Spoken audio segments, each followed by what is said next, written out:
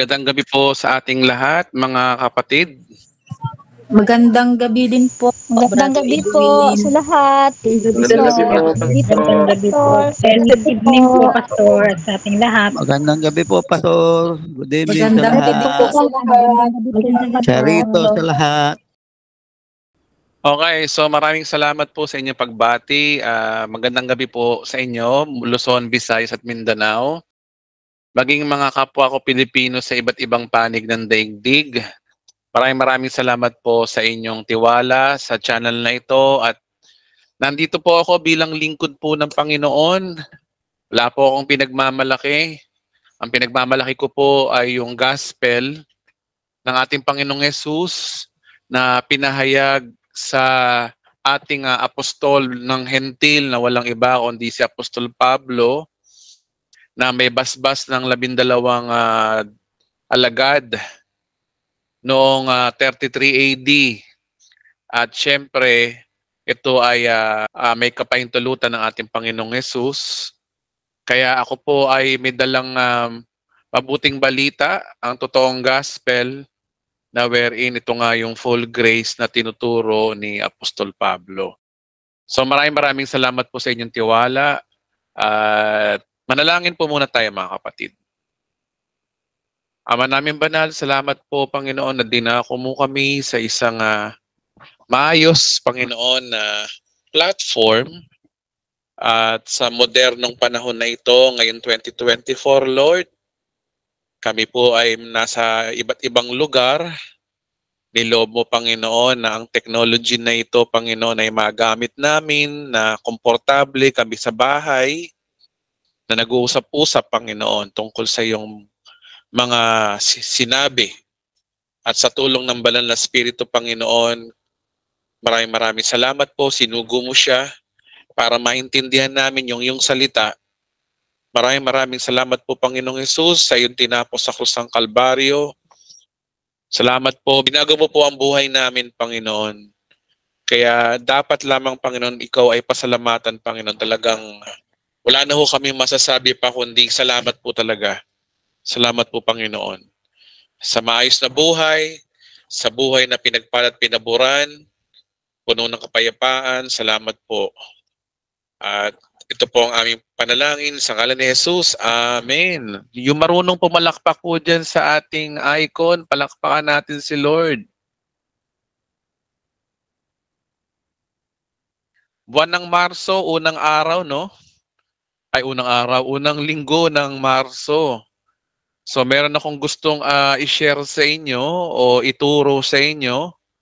At ito po ay hindi basta hindi madalas tinuturo kasi sa ibang simbahan eh.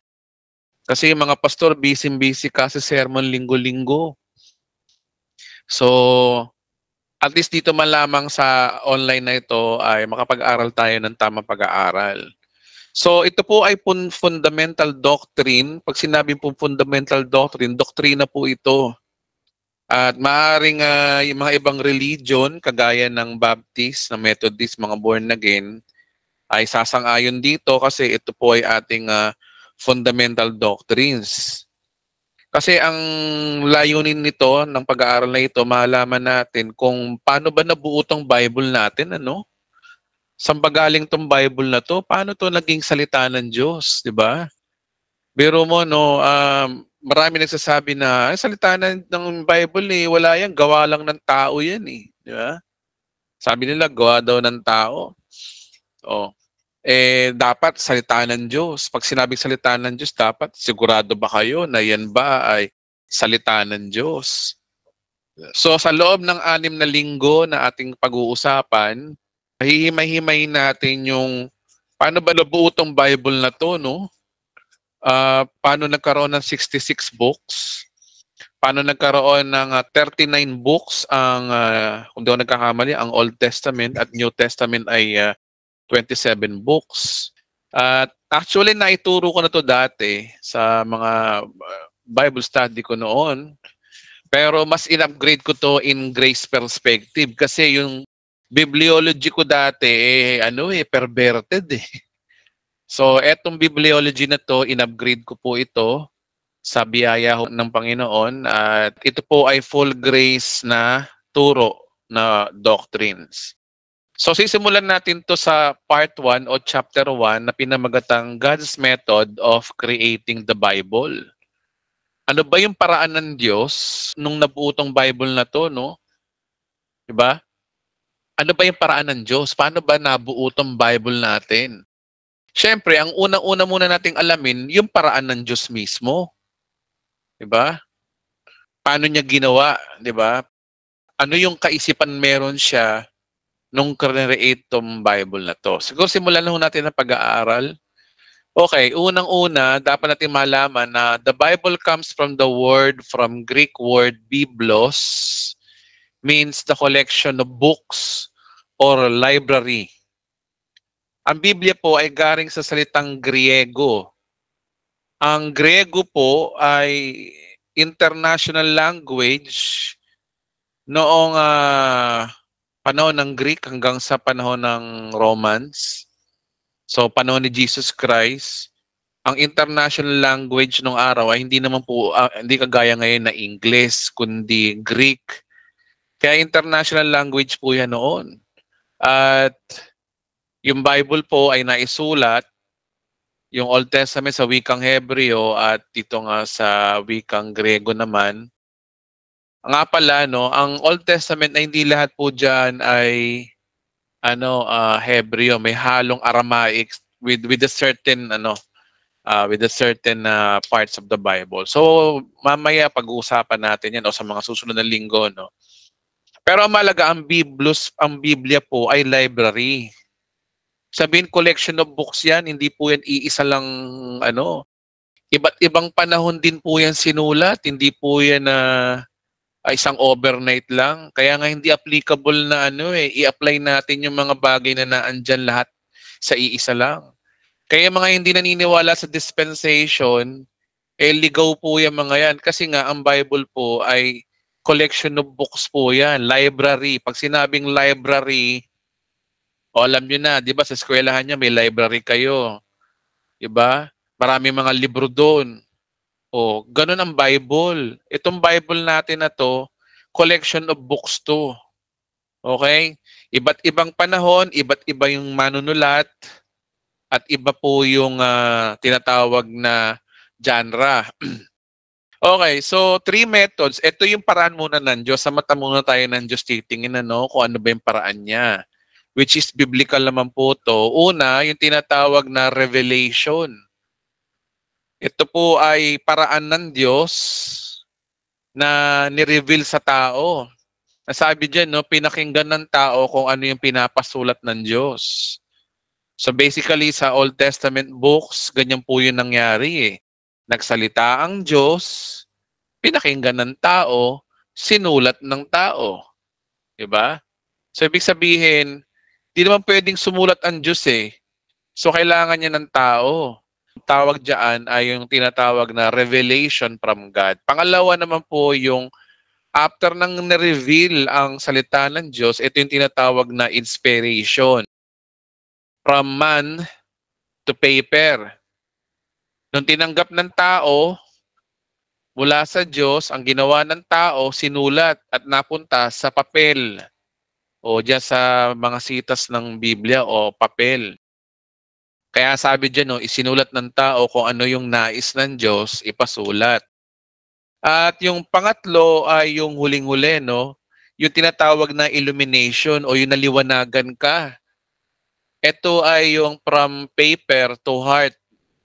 Nung yung sinulat, binasa mo at tumama sa puso mo yung sinasabi. Kaya nga dito, yung pangatlong stage ay ang tao ay makakatanggap ng liwanag kung ano ang pinasulat ng Diyos. So, yan tatlong pong yan ang topic natin ngayon. Iikutin natin yan.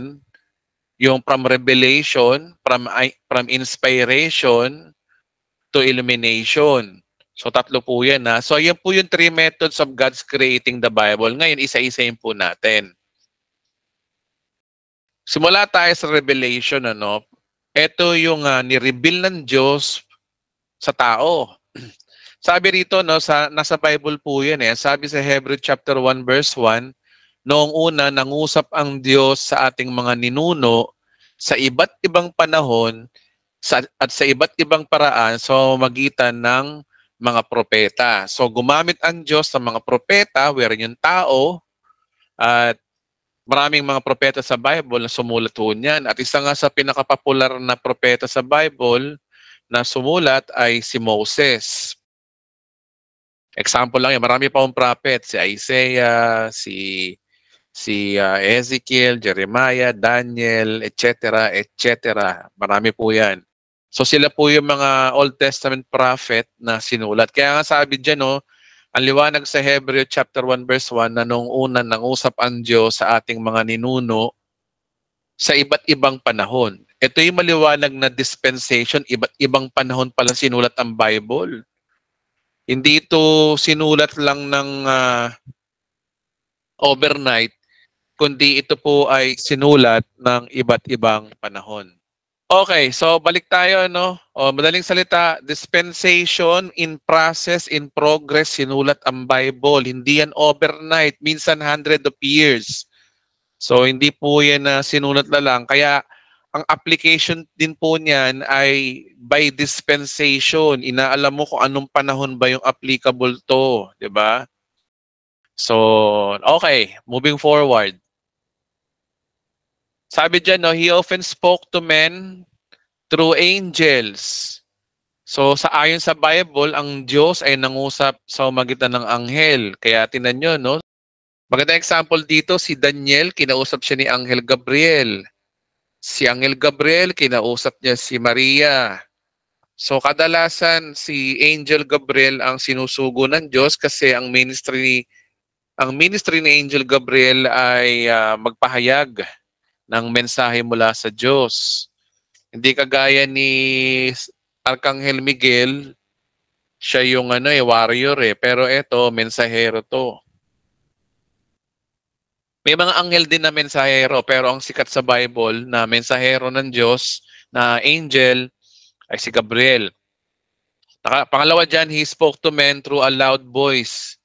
Nung unang panahon nila Eva at Adan, nila basta mga Old, Old Testament na under by grace na kagaya nila Noe, nila Abraham, talagang audible voice yung maririnig talaga.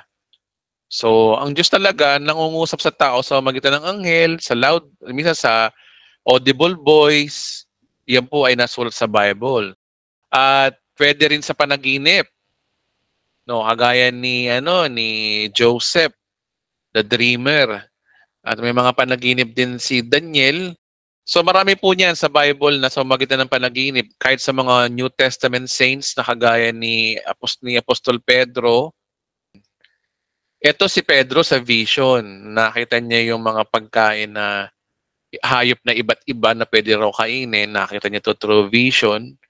Si Felipe, marami mga example sa Bible na ang Diyos ay nangusap through visions. Okay.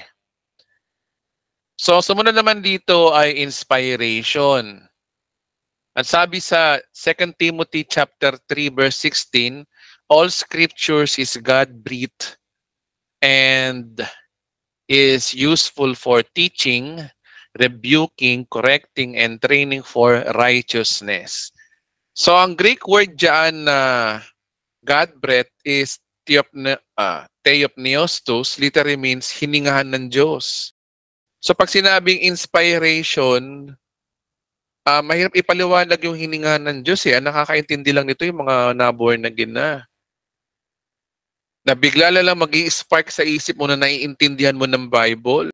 Na dati hindi mo siya naiintindihan, ngayon naiintindihan mo na. At ito ay hiningahan na ho ng Diyos. Mahirap ipaliwanag to sa mga siyensya at malamang sabihin ng mga scientists ay eh, siraulo tayo o siraulo ako. Sa bagay, hindi naman ako yung kasi sabi ng Bible, hininghan daw ng Diyos eh. Sinasabi ko lang yung sinasabi ng Bible. Hiningan ng Diyos. Ngayon, merong mga theory eh, mga kapatid, na ano daw yung ibig sabihin ng inspiration. Yeah, marami mga eskwelahan ng Bible na nagtuturo nito, no? Na merong mga iba't ibang mga theory at iisa-isay natin yung mga theory nila. Una, yung natural theories of inspiration. Sabi diyan no, ito ay theory na kung saan ang Bible writers daw ay ginanahan o na-inspired magsulat gaya nila kagaya nila William Shakespeare. Sa madaling salita, ito ay inspirasyong nararamdaman ng tao kapag siya ay ganadong sumulat. So parang si Jose Rizal na na-inspired siyang isulat ang No Limitangere at El Filibusterismo, ganun daw po yung Bible daw na yung mga manunulat daw ng Bible ay ginanahan lang daw. Yun ang theory nila sa inspiration. Ibig sabihin, sila Pedro, sila Pablo, sumulat, ginanahan lang daw. So ano, parang ah, ano, na-inspired, di ba? O kagaya daw nitong, uh, ewan ko, ba't, ba't ba nalagay ko si William Shakespeare dito? May nakakilala ba kay William Shakespeare? Pero ito, tinuturo naman sa eskwelahan to eh na ang inspiration ganon, ginanahan lang. May mga theory na yung mga manunulat daw, ginanahan lang daw. Pinabulaanan to ng Biblia eh, na ginanahan lang daw yung mga manunulat, ginanahan. Eh sabi ni Pedro sa 2 Peter chapter 1 verse 20, Higit sa lahat, unawain ninyong walang makakapagpaliwanag ng alinmang propesiya ng kasulatan sa sariling kakayahan. Oh. Yung inspiration ni Jose Rizal na ibang manunulat, sariling kakayanan yun eh. 'Di ba? Idea nila yun. So kaninong idea ba ang salita ng Diyos? Sabi dito na sapagkat ang pahayag ng mga propeta ay hindi nagmula sa kalooban lamang ng tao.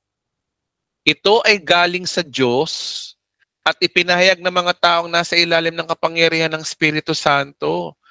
So ibig sabihin pala, ang salita ho ng Diyos nung sinulat, ito ay galing daw sa Diyos na pinahayag ng mga taong nasa ilalim ng kapangyarihan ng Espiritu Santo. So sino ba yung mga taong nasa ilalim ng kapangyarihan ng Espiritu Santo? Sila yung mga nananampalataya sa Diyos. Sila yung talagang kinasihan ho ng Diyos. Hmm. 'Di ba? Hindi siya ginanahan lang. Marami mga religion ganyan eh. It's yung Bible eh. Yung Bible, sinulat lang naman yan, ginanaan din eh. Parang pagkain lang yan, ginanaan bigla. Ginanahan lang daw. Eh, eh ano yun? Eh, Edwin, parang in love ka lang naman yan eh. Pag na-in love ka, ginaganahan ka. Kaya ganyan din ang Biblia. In love sila kay Lord. Kaya sila ginanahan. Oh. Eh, magtuturo ng ganyan eh. Ayoko na magbanggit, ah, ginanahan lang daw. Eh, sabi nga sa Bible, ito ay galing sa Diyos. At pinahayag ng mga taong nasa ilalim ng kapangyarihan ng Espiritu Santo. Nasa kapangyarihan pala ng Espiritu Santo yung mga sumulat nito, mga kapatid. Eh, sino may sabi? Hindi ako. Ayan, Bible, oh. Si Pedro. Hmm. Yung paboritong disipulo ni Jesus Christ, si Pedro. Ang may sabi po niyan, hindi ako. Oh, isa pang theory daw. May mga theory pang ganito eh. Ito pa. Ito yung uh, content or concept theory. So ano ba to? Ayon sa theory na ito ay ang tanging tinutumbok lang ng Biblia ang inspired o yung paragraph at chapters lamang ang inspired. So ibig sabihin ang inspired lang daw dito kung ano yung mensahe lang daw ng Bible. Halimbawa, uh, yung sinabi ni Jesus Christ na ako ang puno, kayo ang mga sanga, ang mananatili sa akin. Ang inspired lang daw yon yung buong chapter lang na yon o yung buong context lang daw. Halimbawa, yung chapter 15, ang idea doon ay uh, kung mananatili ka kay Kristo, uh, ikaw ay ligtas. Ganon, parang ganon. Yun lang daw ang inspired. Pero yung mga bawas sinasa, sinusulat daw ng Bible, hindi raw inspired daw yun. Diba? Eh, ano ba sabi ng Bible dyan? Sabi rito, no? Ito ay pinabulaanan po ng Biblia. Kasi sabi sa Bible, no? Mateo chapter 5 verse 18, tandaan ninyo, maglalaho ang langit at ang lupa, ngunit ni isang tuldok o kudlit man ng kautusan ay hindi mawawala ng bisa hanggang hindi natutupad ang lahat. So every letter, every word sa Bible inspired. Sino may sabi? Hindi ako, si Jesus. Mateo 5.18. Sabi maglalaho ang langit at ang lupa, ngunit isang tuldok o kudlit man lang ng kautosan ay hindi mawawalan ng isang bisa. Eh, Edwin, kautosan yan eh. Kautosan ang sinasabi. Alam mo ba yung context? Pag sinabing kautosan, sabi yan ng hunang Biblia.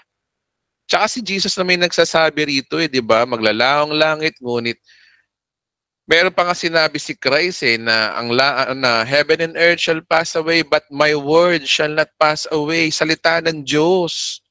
Oh. So ibig sabihin, hindi totoo yung ano, yung context, yung content theory, kundi ibig sabihin verse by verse inspired yun ng Diyos. Naandun yun, kaya naandun yun kasi lahat yun importante, lahat yun ay ah, niloob ng Diyos sa maisulat. Eh, paano Edwin yung tumangi si Jesus? Kasama ba sa inspired yun? Siyempre. 'Di ba? So mamaya lilinawin natin yan ano. Ang mahalaga rito ay pinabulaanan ng Bible yung content and concept theory. Hindi siya ah ah, sablay, sablay yung ganun theory. Okay, next. Yung tinatawag daw na partial theory. So ito ang theory na ang tanging inspired lang ay yung partial o hati-hati lang. Ito ay posisyon ng mga liberal theologians kung saan ang Bible daw ay nagdi-deal about love and brotherhood.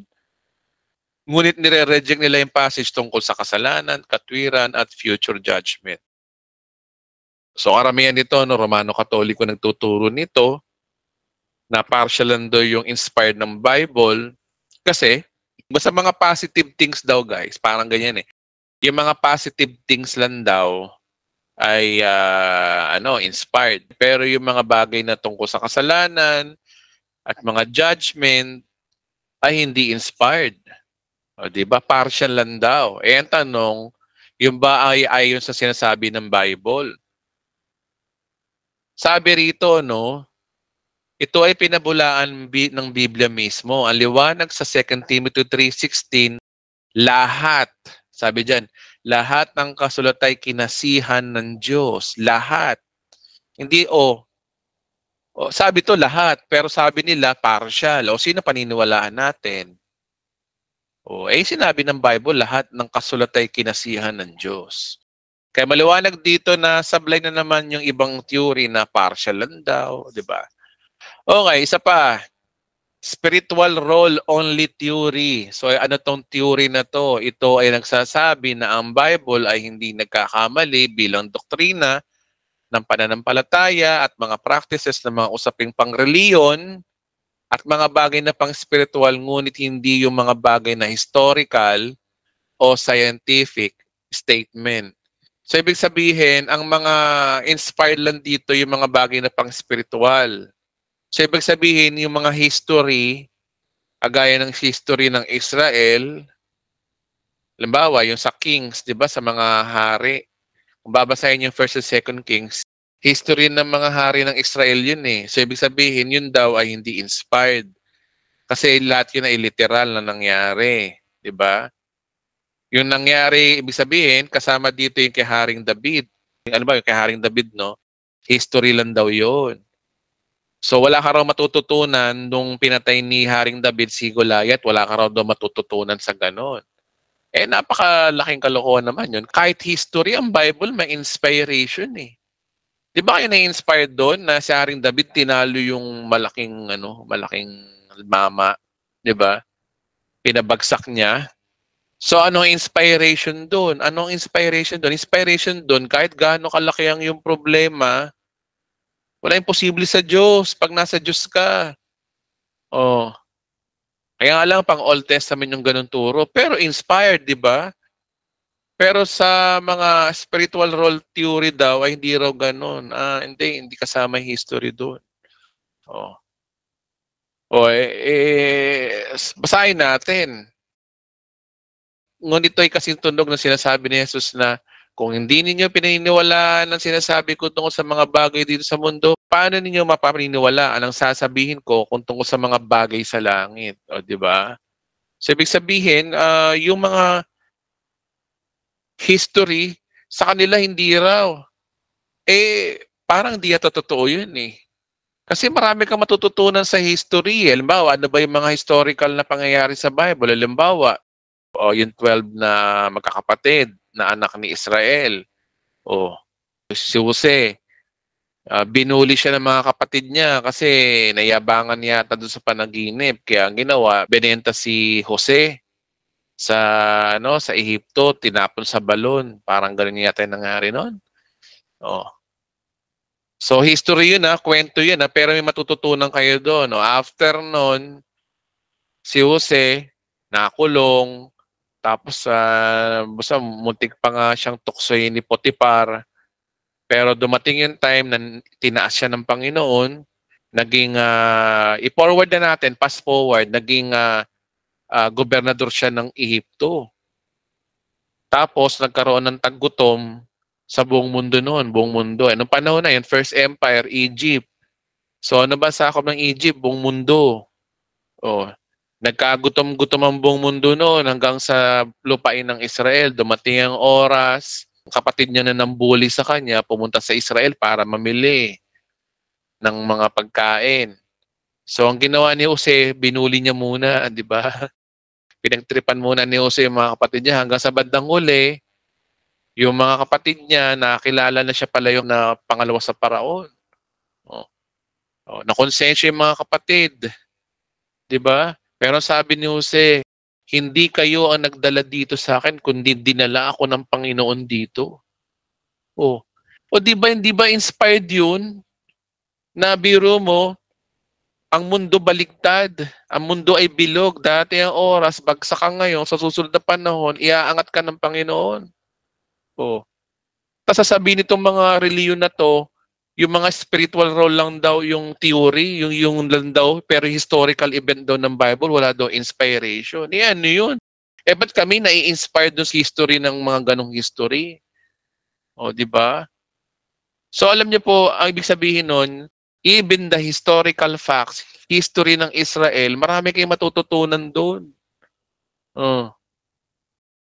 Kaya yung mga ganyan, sablay. Tsaka sinabi na rin ng Bible, si Jesus Christ, sablay daw.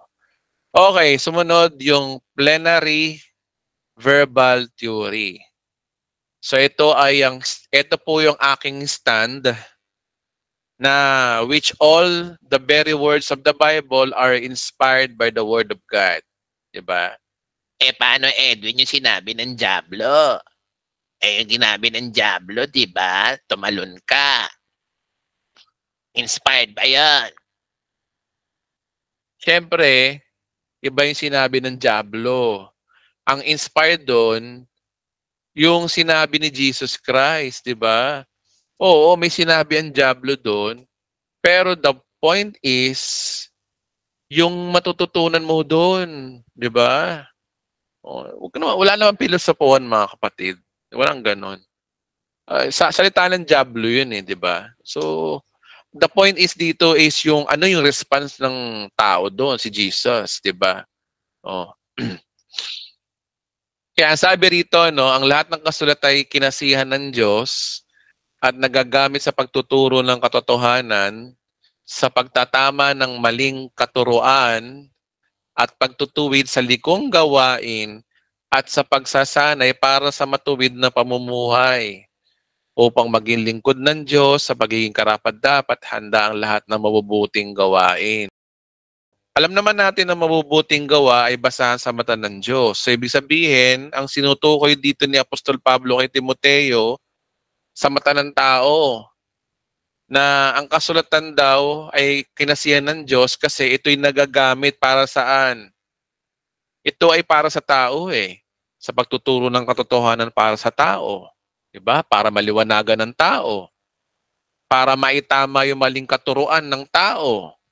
Para sa pagtutuwid ng likong gawain ng tao. Diba? At sa pagsasanay para sa matuwid na pamumuhay para mamuhay ka ng maayos. Diba? Oh upang ang lingkod ng Diyos ay maging karapat dapat handa sa lahat ng mabubuting gawain o yung ministry, di ba? Qualified ka sa ministry na ginagawa mo.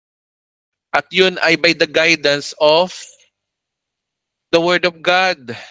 Oh. Yan po yung pinaka-context ng Timoteo 3.16. Ang Timoteo 3.16, ang sinasabi dyan ay yung yung salita ng Diyos yan, ay makakatulong yan para tayo ay ah, makipagkapwa. Diba? Oh, hindi naman para sa Diyos yung matuwid na pamumuhay eh. Hindi naman para sa Diyos yun. Kasi naging matuwid tayo dahil kay Kristo. Ngayon, para sa tao, ang problema nga natin, kailangan tayo maging matuwid sa mata ng tao. Ngayon, paano ka mamumuhay na matuwid sa mata ng tao? Doon gagana yung Bible.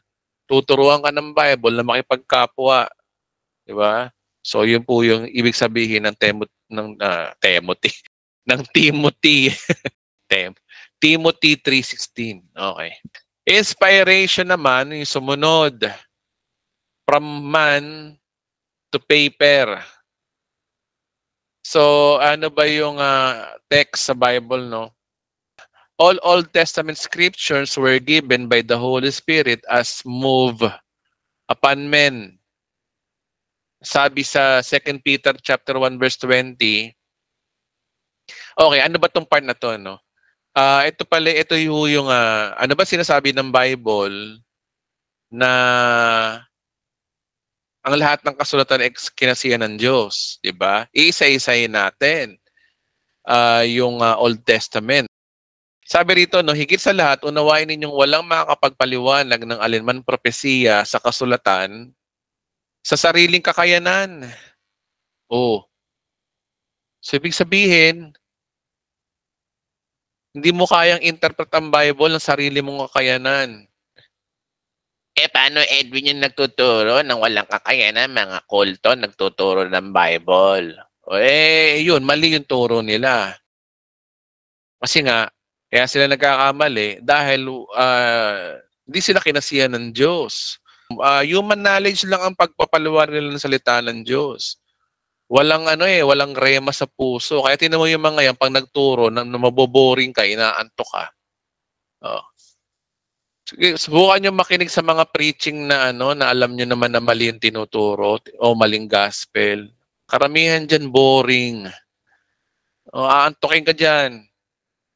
Haba-haba ng preaching, no? Isang oras kalahati. Diyos ko, Panginoon ko, gutom na gutom na yung mga tao.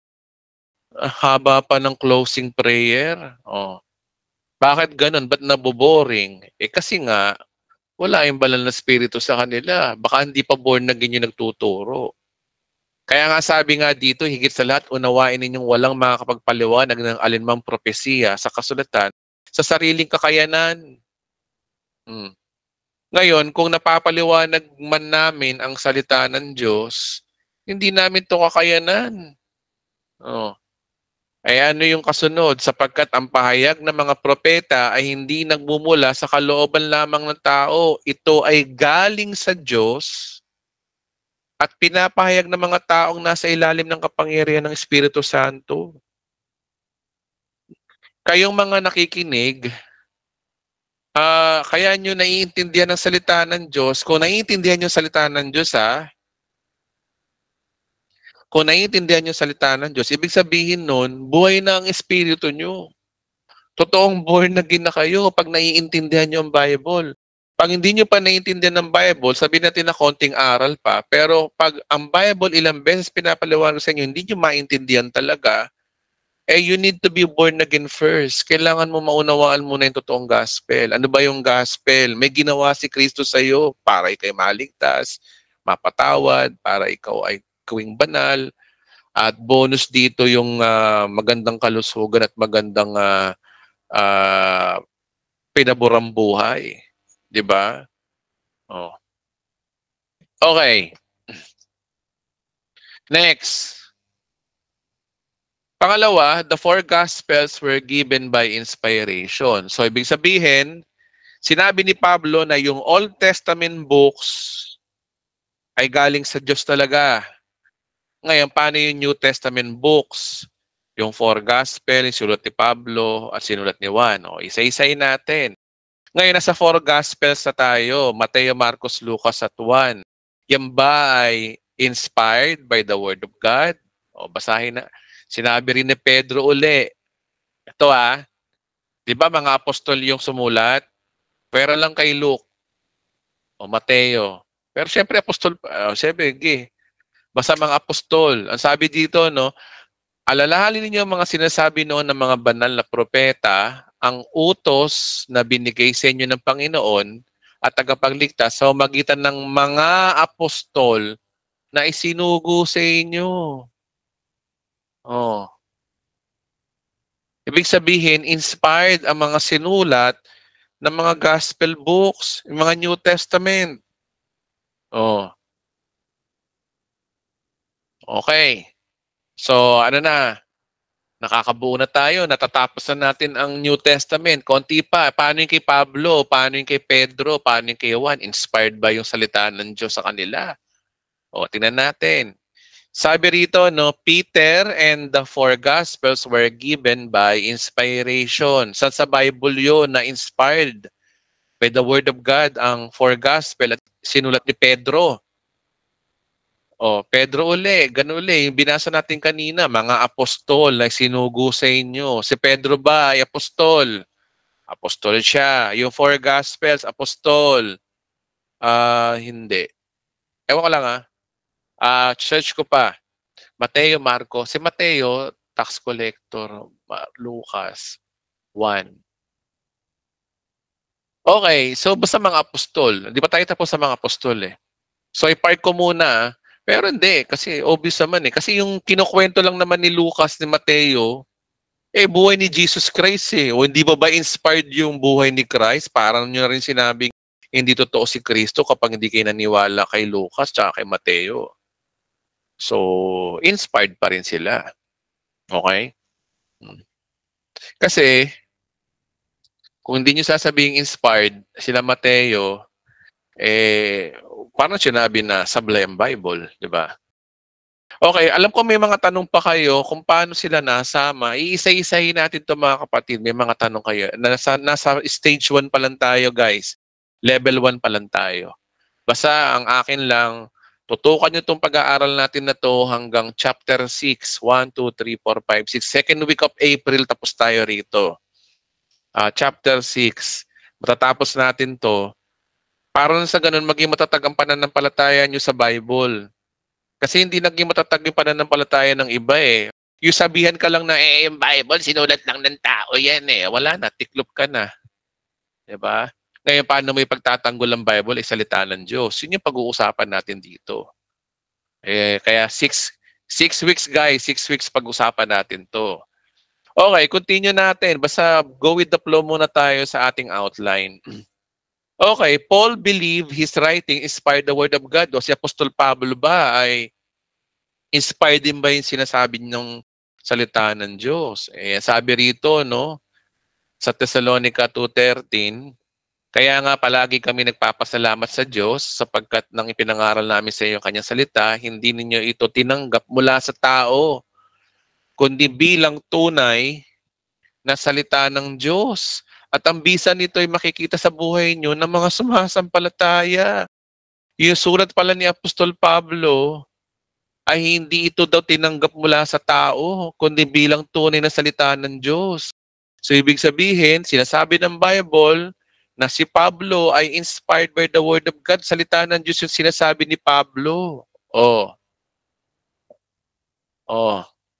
Na out na. At ang bisa nito ay makikita ninyo sa mga sa buhay ninyong mga sumasampalataya. Totoo naman, di ba mga kapatid, yung mga sinulat ni Pablo, na bago ang buhay natin, di ba? Kahit tayo na lang nagbabasa na nag-aaral ng salita ng Diyos, na bago ang buhay natin. Nung nalaman natin na tayo pala pinatawad na, ginawang banal, pinaboran ng Diyos. Sa umagitan lamang ng ating pananampalataya sa ginawa ni Kristo, na bago ang buhay natin. Kanina ba nang galing yun? Kay Pablo. Kaya inspired of the word of God siya. Inspired yung kanyang sinasabi. Eh, malinaw naman kasi dito no, na hindi ito tinanggap mula sa tao, kundi bilang tunay na salita ng Diyos at ang bisa nito ay nakikita sa buhay ninyo. Tama. nakikita nga sa buhay natin na nabago ang buhay natin, yung sinulat ni Apostol Pablo. Kaya kasama na ngayon ng mga sinulat ni Pablo, ano ba yon? Romans hanggang Philemon, inspired. So sino na lang ang kulang? Si Jude, kasi ano yon, apostol yon, counted. Si Juan na lang, si apostol Juan. Eh, abagay, apostol din naman siya. Pero tingnan natin. O, may sinabi rin si Pablo dito, isa pa, no? Sa aking pananilta at pangangaral ay hindi ko sinusubukang hikayatin kayo sa pamagitan ng mahuhusay na talumpati at karunungan ng tao. Subalit nangangaral ako sa pamagitan ng kapangyarihan daw ng ano? Ng Espiritu, oh, malaking E. Oh. Ibig sabihin guys, si Apostol Pablo, hindi tayo binubudol ni Pablo sa magitan daw ng mahuhusay na talumpati at karunungan ng tao. Kundi sa pamagitan doon ng kapangyarihan ng Espiritu, kaya nadala ni Pablo sa tamang aral. Di ba? Kaya nga sabi rito, no, sinubukang hikayatin kayo. Di ba? Kaya tayo nahikayat ni Pablo na manampalataya sa tinapos na gawa ni Kristo na hindi tayo sakop ng kautosan ng mga mga Hudyo. Oh. At yan daw karunungan daw, yan hindi daw galing daw sa kanya. Oh, kundi daw dahil saan? Sa kapangyarihan daw ng Espiritu. Oh. Kaya kasama si Pablo sa inspired. Next. Ito may patotoo pa, no? Si Peter daw naniniwala na ang mga sulat ni Pablo ay inspired ng salita ng Diyos. May nasulat na ganun sa Bible, basahin natin, no? Sa 2 Peter 3.16, mababasa niyo yun eh, 2 Peter 3.16. Sabi rito, no? Isipin ninyong kaya nagtitimpi ang Panginoon ay upang bigyan kayo ng pagkakataong maligtas. So sinesermo na ni Pedro ang mga manon ang kanyang uh, audience, ang mga Jewish Christian na sabi niya no, isipin nila lamang niyo nagtitimpi ang Diyos sa inyo upang bigyan kayo ng pagkakataong maligtas. Kasi ang titigas ang hulo ng mga Udyo eh. Tapos an example niya si Pablo no, sabi rito no, iyan ang isinulat sa inyo ng kapatid nating si Pablo. Oh. Ibig sabihin, pinopromote ni Pedro si Pablo. So, paano ba niya pinopromote si Pablo? Sabi niya rito, no? Taglay ang karunungang kaloob sa kanya ng Diyos. Si Pedro nagsabi na yung mga sinasabi ni Pablo ay karunungang kaloob ng Diyos. Hmm. Sa lahat ng sulat niya tungkol sa paksang ito, ganito ang lagi niyang paalala. Oh, tama yung sinabi niya kasi si Pedro, si Pablo din kasi sinabi sa Romans na nagtitimpi din ang Panginoon upang bigyan kayo ng pagkakataon maligtas. So, yun din ang sinasabi ni Pedro dito na sinabi ni Pablo. Okay? Kaya nga lang, ang ilang bahagi sa kanyang mga sulat ay mahirap unawain. O, inaamin ni Pedro talaga na may mga sinasabi si Pablo na talagang uh, it is difficult to understand talaga, mahirap. O. Tapos ito po, no, dahil mahirap unawain, ang sabi ni Pedro dito, at binibigyan ng maling kahulugan ng mga mangmang at magugulo ang pag-iisip. Oh, eh maraming ganyan sa panahon natin ngayon na misinterpret si Pablo eh. Yung palang mga nami-misinterpret si Pablo, ang sabi ni Pedro, sila daw yung mga mangmang at magugulo ang pag-iisip. Oh. Ah, di ba? Oh, alam na this. So, ganyan din ang kanilang ginagawa sa ibang kasulatan. Kaya nga't pinapahamak nila ang kanilang sarili. Okay. So, ibig sabihin, maraming ginasabi si, maraming mga nag-aaral din sa sulat ni Pablo, kaya nga lang may misinterpret ng iba. Kaya inaamin pala ni Pedro na mahirap talagang unawain yung mga sinulat ni Apostol Pablo. Okay? Okay, so ganun talaga mga kapatid, mahirap. Pero by the guidance of the Holy Spirit, kayang-kaya naman eh. Uh, naunawaan naman natin. Okay. Next. Eto, sino na natitira? Si John. Si John ba? Inspired. At sabi ni John sa pahayag 22.18 eh. sabi rito, no, akong si Juan ang nagbibigay ng babala, sino mang makarinig ng mga propesiya na nasa aklat na ito. So ano yung context dito? Ano yung propesiya ng aklat na ito? Anong aklat ito? Book of Revelation po yung binabanggit niya. Yung mga ibang mga Christian, ang binabanggit daw dito ni ano ni Juan ay buong Bible. No. The context here is all about his writing. Yung revelation ang tinutukoy niya rito. Sabi dito na ang sino mang magdaragdag ng nilalaman ng aklat na ito ay daragdagan ng Diyos ng parusa. Idaragdag sa kanya ang mga salot na nakasulat dito. Sino mo mag-alis ng anumang mga propesiyang naririto, ay aalisin naman ng Diyos ang karapatang ng bunga, ng punong kahoy, nagbibigay ng buhay, at sa banal na lungsod na binabanggit dito. Pag-usapan natin yan sa katapusan ng mundo part uh, 15, 14, 15. Kung ano yung uh, tree of life dito, tsaka yung uh, uh, the holy city. Pero kasi ang sinasabi ko dito, sino man daw magdagdag daw ng prophecy sa Book of Revelation, eh, may, may curse. Okay? Oh. Kaya yung mga naniniwala dito na na dinadagdag nila yung uh, hula ni Nostradamus sa Bible para maging guidance, eh, sablay kayo doon. Kasi mas paniniwalaan ko ang prophecy ng Bible kasa sinasabi ni Nostradamus. Eh, paano yun, Edwin? Nagkakatotoo naman, pati yung Simpson. Eh, ganun talaga. Hindi natin alam. Pero maganda rin talaga yung kung ano sinasabi ng Bible. Ang sablay lang siguro dito yung mga nagtuturo, pero ang Bible never siya maging sablay. So, kompleto na from Old Testament to New Testament, maliwanag na inspired ang ang uh, book na ito. Okay? So ang tanong, kailan na kompleto ang inspiration? Ang inspiration ba ay hanggang ngayon? Oh. Ang tanong dito ay, ang inspiration ba pwede pa rin bang sumulat? Ay dadagdag to sa Bible, di ba? Limbawa, ang Acts hanggang Acts 28 lang. O dagdagan ni Edwin ng Acts 29, pwede ba yon? O kaya dagdagan ni Revelation chapter 24. Lagyan natin ng 24. Pwede ba ngayon? Pwede bang gawin yon? Itong ba, sabi, ito sagot dyan. For the early 20th centuries now, evangelical Christians everywhere have held to believe that when John Apostle wrote Revelation 20 to 21 and wipe his pen, inspiration, stop. So, ibig sabihin, ang kahuli-hulihang sumulat ng Biblia na si Apostol Juan noong 95 AD, siya na yung huli. Kasi sinabi ni, ano, ni Juan eh, na siya na yung huli. Wala na idadagdag sa salita ng Diyos. Wala na idadagdag sa hula. Stop na. So ang inspiration ay natapos noong 95 AD.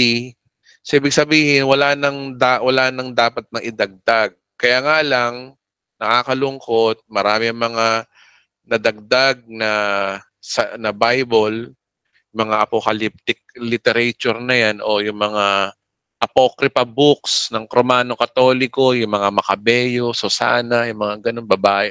Babae at dragon ba yun? Ewan ko ano yun. Basta ganun. Eh, yun yung pag-uusapan natin regarding sa canonization. Pero mahalaga ngayon, natapos ang inspiration hanggang sa panahon ni Apostol Juan. Tapos na ho doon. Okay, so saan tayo ngayon? Ito na yung illumination. Ito yung from paper to heart. Nung sinulat ang Bible, after sinulat ang Bible, binasa ang Bible. Okay? Nasa panahon na tayo na binasa na ng tao ang sinulat ng mga apostol at propeta from Old Testament hanggang New Testament books. Kaya ang nangyari ngayon yan, what's next? Anong dispensation na tayo? Sa illumination. Nasa panahon na tayo ng kaliwanagan hanggang sa panahon natin ngayon. So ano ba itong illumination? Kagaya ng sinabi ko sa inyo kanina, ang illumination, ito yung uh, binasa yung Bible, naliwanagan yung nagbasa. Tumimo sa puso niya yung binabasa niyang Bible. Yun po, yun po yung next. Kanina, Revelation, ito ay sinabi, nagsalita ang Diyos sa tao, sa mga propeta. Ang mga propeta naman, by the inspiration of God, sinulat ang Bible. Ngayon naman, ang Bible naman ay binasa na ng tao. Ito yung tinatawag na illumination. So, tingnan natin ano. Ngayon, paano ba nangyari itong illumination na to? Ah, ano ba yung proseso nito? Ito yung mababasa natin, John chapter 14 verse 25 to 26 na sino ba magpapaliwanag ng Bible? Sino ba? Sabi ni Jesus, no? Sinabi ko sa inyo na mga bagay na ito ay habang kasama pa ninyo ako. Ngunit ang tagapagtanggol, sino itong tagapagtanggol na to? Malaking T ang Espiritu Santo, malaking iyo, Holy Spirit daw, na isusugo ng Ama sa pangalan ko, ang siyang magtuturo sa inyo ng lahat ng bagay at magpapaalala ng lahat ng sinabi ko sa inyo. Magpapaalala ng sinabi ko sa inyo. Ano ba yung mga sinabi ni Christ? Eh, yung Bible. So, ibig sabihin, ang trabaho pala ng banal na spirito, pinadala ng Diyos ang Espiritu sa panahon natin ngayon to illuminate us para maliwanagan tayo. Kasi pag sinabing illumination, naliwanagan, di ba? Uh, di ba? Oh, halimbawa, patay ang ilaw, binuksan mo ang ilaw. Yung ilaw ang nagbigay ng liwanag. Ang tawag doon illumination. So ganun din sa atin. Hindi pa natin nauunawaan ng Bible, nasa kadiliman pa tayo. Nung binasa natin ng Bible, at tumimo sa puso natin, naliwanagan tayo. Yun ang tinasabi na illumination, naliwanagan. At ngayon, sino ang author nun? Ang banal na spirito. So, ibig sabihin guys, sa Old Testament, ang Diyos Ama ay tapos na sa panahon ng law ng Moses, panahon ng Israel. Natapos na ang Diyos Ama doon. Ang sumunod na ministry naman, yung ginawa ng anak, yung tinapos niya sa krus ng Kalbaryo. Ibig sabihin, ang Diyos Ama at ang Diyos Anak, mamahingan na ngayon. At ang kumikilos sa panahon natin ngayon ng illumination ay ang banal na spirito. Siya yung nagpapaliwanag ng Bible. At maliwanag na sa binasa natin kanina na ang tanging kinasihan lang ng banal na spirito ang uh, makakaintindi ng Bible. Ibig sabihin, sabi, yung mga buhay sa espiritu lang makakaintindi ng Bible. Eh, ang sabi kasi ni Jesus Christ sa John chapter 3 verse 3, unless a man be born again, you cannot see the kingdom of God. Hindi mo maiintindihan ng Bible unless na hindi ka pa naboborn again. At para pala maborn again, sa context din ng John 3.16, nakalagay na maboborn again ka pala kung mananampalataya kay Kristo, doon ka magkakaroon ng buhay na walang hanggan.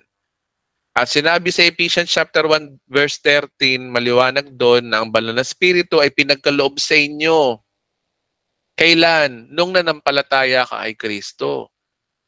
'Di ba? So hindi nakukuha sa EGR, sa G12, sa pag-retreat, sa pagpunta ng Sambales, tapos 13 days kayong nagba-Bible study, nagpipirayan fasting doon, 40 days and 40 nights hindi nakukuha ang banal na spirito doon. Nakukuha ang banal na spirito the moment na nanampalataya ka sa tinapos na gawa ni Kristo.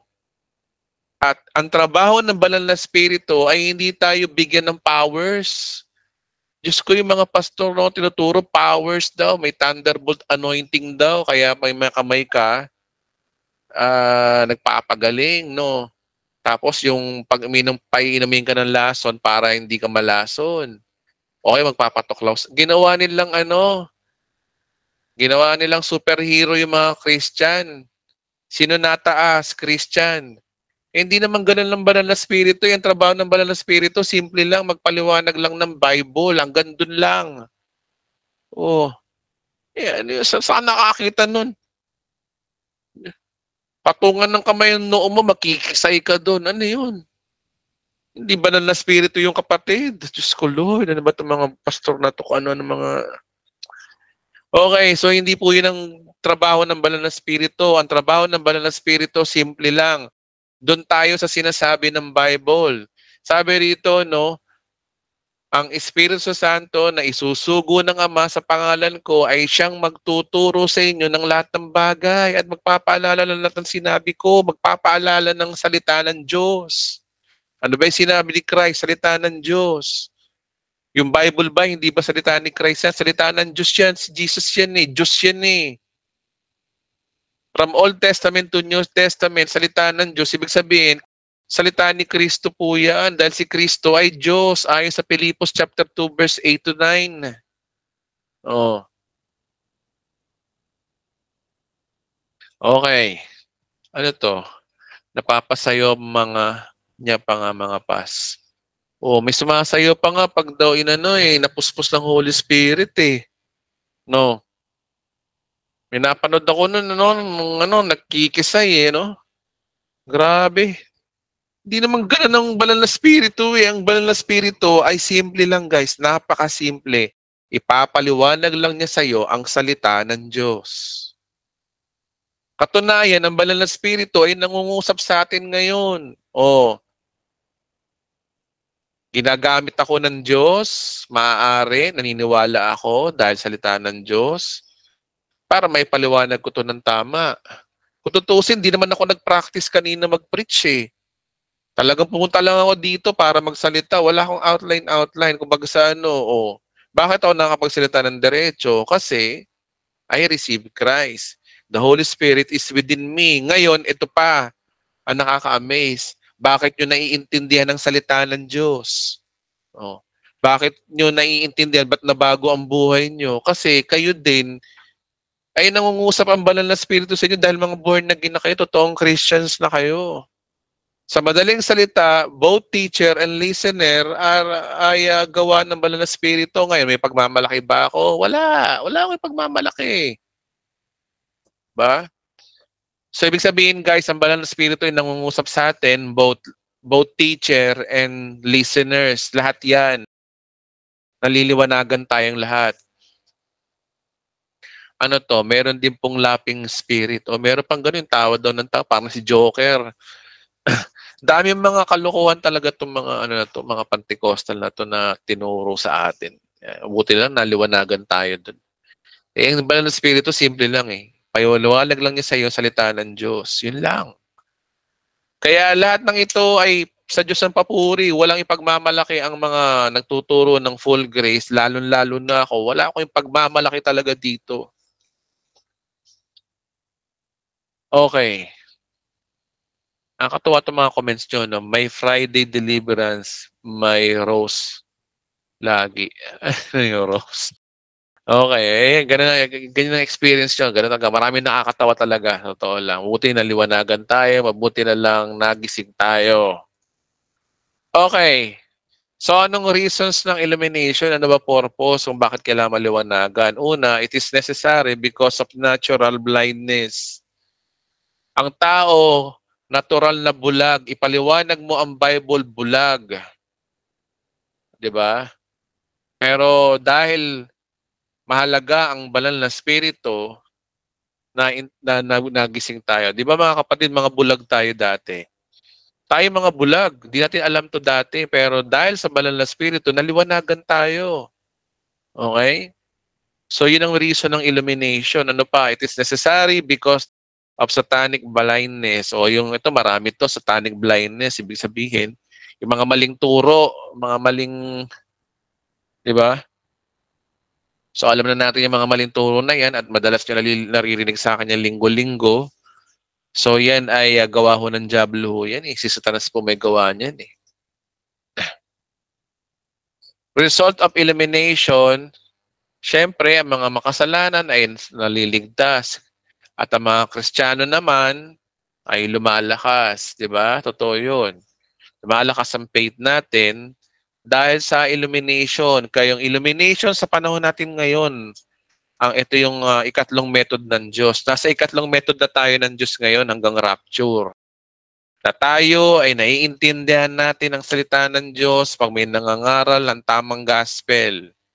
At alam din natin kapag mali yung gospel, naiintindihan natin. Bakit? Kasi alam natin ang totoo.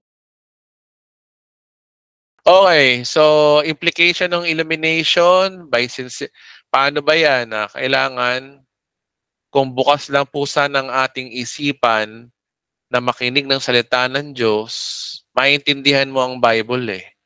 Ah, doon mangungusap ang banal na spirito. Alam niyo bakit yung iba hindi nananatiling bulag kasi ayaw nilang tumanggap ng ano ng tama. Mas mahal nila yung pride nila kasya doon sa tanggapin yung tama. Biro mo no, halimbawa ikaw pastor ka no, ay hindi ka na pala pastor, reverend ka na. Oh, may mga hawak ka ng mga pastor no. Tapos ang magtuturo sa iyo ng Bible, alam niyo kung sino? Yung usher nyo, yung usher ng church. Oh.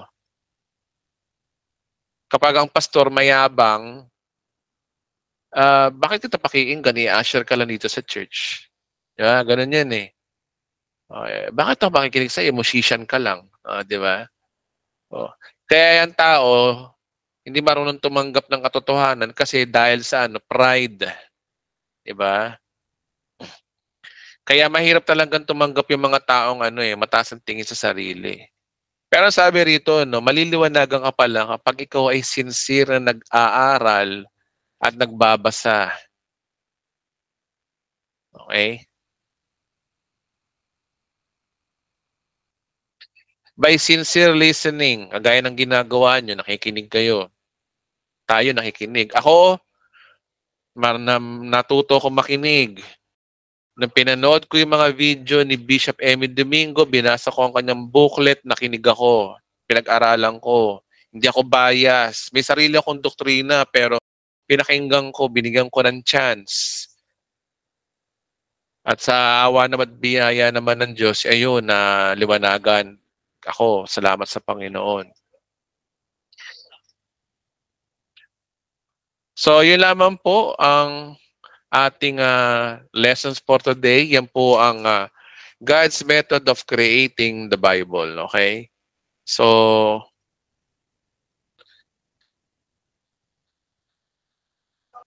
o oh, meron kayo tatanong, pwede na kayo magtanong ngayon. Bubuksan ko na po yung uh, mikropono natin. Ano?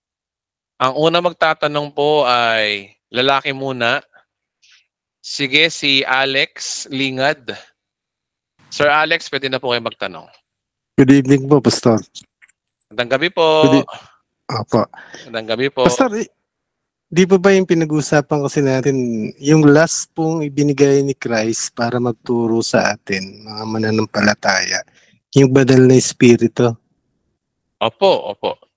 May nabasa po kasi akong may mga gifts of the Holy Spirit. Mhm. Sino po yung binibigyan ng banal na espiritu na gano'n? Yung gifts of healing, gifts of prophecy, Mhm. gifts of interpretation. Kanino po ibinibigay ng Diyos yung ganong gifts? Okay, maganda basahin natin. Meron ka bang Ay, supporting verse dyan? Hindi ko pa matandaan yung ano, nabasa ko lang sa ano. Hindi ko matandaan sa Corinthians Kasi yata meron kasing mga gift na sinasabi na gift of the apostles. Ito ay para Mm. sa mga apostol lang. Ito ay nakasulat sa ano eh, sa nasa Marcos 'yun eh na binibigyan ko ng kapangyarihan na bumuhay ng patay, 'di ba? Sa kalagay doon. Binibigyan ko ng kapangyarihan na na kahit na minom kayo ng lason, hindi kayo malalason. Ipatong yun yung kamay. So yun ay applicable lang nung unang panahon sa panahon ng mga apostol. Kasi bakit? Kasi yan ay, ah, kung titingin tayo sa dispensation, ito ay, ah, ang mga himala kasi na binibigay ni Jesus Christ sa mga apostol para mga Hudyo ay maliwala. Kasi sabi sa Bible kasi, ang mga Hudyo ay naghahanap ng kapangyarihan eh. Naghahanap ng ebidensya at karunungan naman ang mga Hentil. So ang sabi doon, ang maliwanag ang maliwanag kasi doon na kaya kaya kailangan ng ng Diyos na magkaroon ng himala sa harapan ng mga Israel sa mga Hudyo kasi mga Hudyo hindi naniniwala ng walang himala eh. Alam naman natin ang ugali ng mga Hudyo ever since. Pinakitaan sila ng Diyos ang himala, ayaw nilang maniwala, ayaw nilang maniwala. Ah, nahati ang dagat, um, ah, nagbi- 'di ba maraming mga pangyayari eh, yun yung pinarusahan ng Ehipto, 'di ba ever since. Kaya nung dumating si Jesus Christ para maniwala sa kanya mga Hudyo, eh kailangan niya maghimala. Kaya yun ang nangyayari, may mga gifts. May may, may meron siyang ah, ah, gifts of healing. Ngayon, dumating naman tayo sa dispensation na susuguin na niya ang kanyang mga alagad. Kaya nataon na nasulat sa Bible na merong mga gift ang mga Mm. Kristiyano nung una. Ang nakakapagtaka lang kasi, nung panahon na ni Apostol Pablo, nung panahon na ng, sa, para sa mga hentil, it seems na walang nang ganun eh. Parang hindi na kailangan kasi, remember, ang target ng mga ni, Apostol, ni Apostol Pablo, mga hentil. Di ba? Mm. Kasi tingnan ah, obserba mo to kapatid. Ah. Tingnan mo, bigyan kita ng halimbawa na ano na talatas na sinasabi sa Bible. Yung first, Cor- ay, Pastor, yung, yung first Corinthians ah, chapter 12, ah, verse 8 to 10, yung mention po doon, yung wisdom, knowledge, faith, healing, miracles. Kaya natin na, niyo po. Opo. 1 Corinthians chapter 12, ano? Opo. 12, ah, verse 8 to 10. Okay. Sabi rito na may ilan sa atin na pagkalooban ng kakayahan magsalita ng mensahe. Ay, balik tayo sa taas tayo. Context. Okay, spiritual gifts. Ang mga kapatid ngayon, tungkol naman sa kaloob ng Espiritu Santo, nais kong magkaroon kayo ng wastong kaalaman.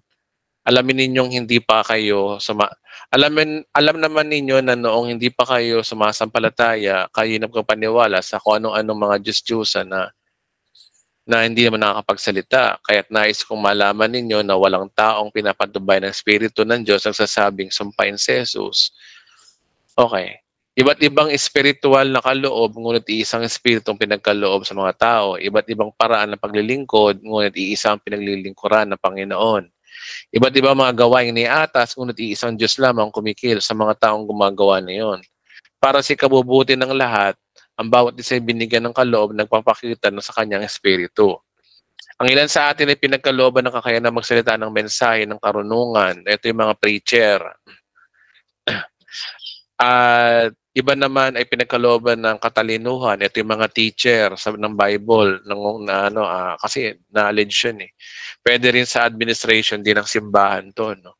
So balit isang espiritu ang pinagkalooban nito. Ang espiritu ng ring yun ay pinagkalooban ng, ng sa iba ng pananampalataya sa Diyos. At iba ay may kapangyarihan magpagaling ng may sakit. Okay. Amin ko sa iyo, totoo. Pwede mo na may palalangin yung mga tao may sakit eh. Eh, lalo na sinabi sa Bible, di ba, na na malaki ang magagawa ng panalangin ng taong matuwid. So ang tanong, paano ba maging matuwid?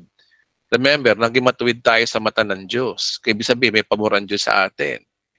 Ngayon, ah yung kapangyarihan magpagaling ng may sakit, pag pinalangin mo, ang tanong, kayo na bang kapangyarihan yun? Sa'yo ba o sa Diyos? Tanong kita kapatid. Sa Diyos po galing yan. Okay.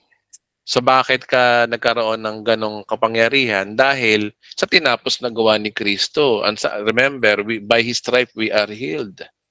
So ibig sabihin, pinaburang ka ng Diyos doon. Kaya ang credits pa rin doon dahil sa tinapos na gawa ni Kristo, kaya ka nagkaroon ng pabor ng Diyos na napagaling mo yung tao. Pero ring technically, hindi ko nagpagaling noon. Pwede rin naman to kasi may pabor ang Diyos sa atin. May pinagkalooban ng kapangyarihan gumawa ng himala.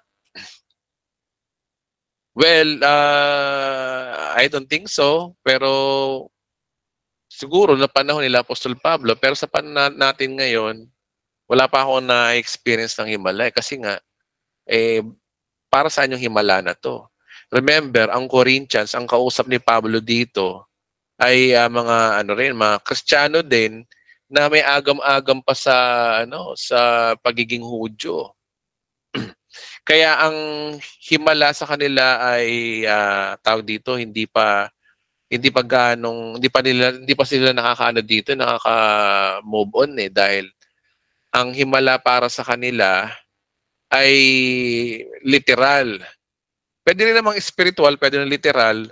So, di pa ako sigurado dito kasi sa panahon natin ngayon, Ang mahalaga kasi ngayon, salita ng Diyos eh. Ang, ang gospel eh. Opo. Mm. So, park ko lang itong himala na to ay papark ko lang to, sasagutin ko lang to sa next week. Opo. Pati po Kasi- yung ano, pastor, pati yung, di ba, nakalagay din doon, yung speaking in tongues.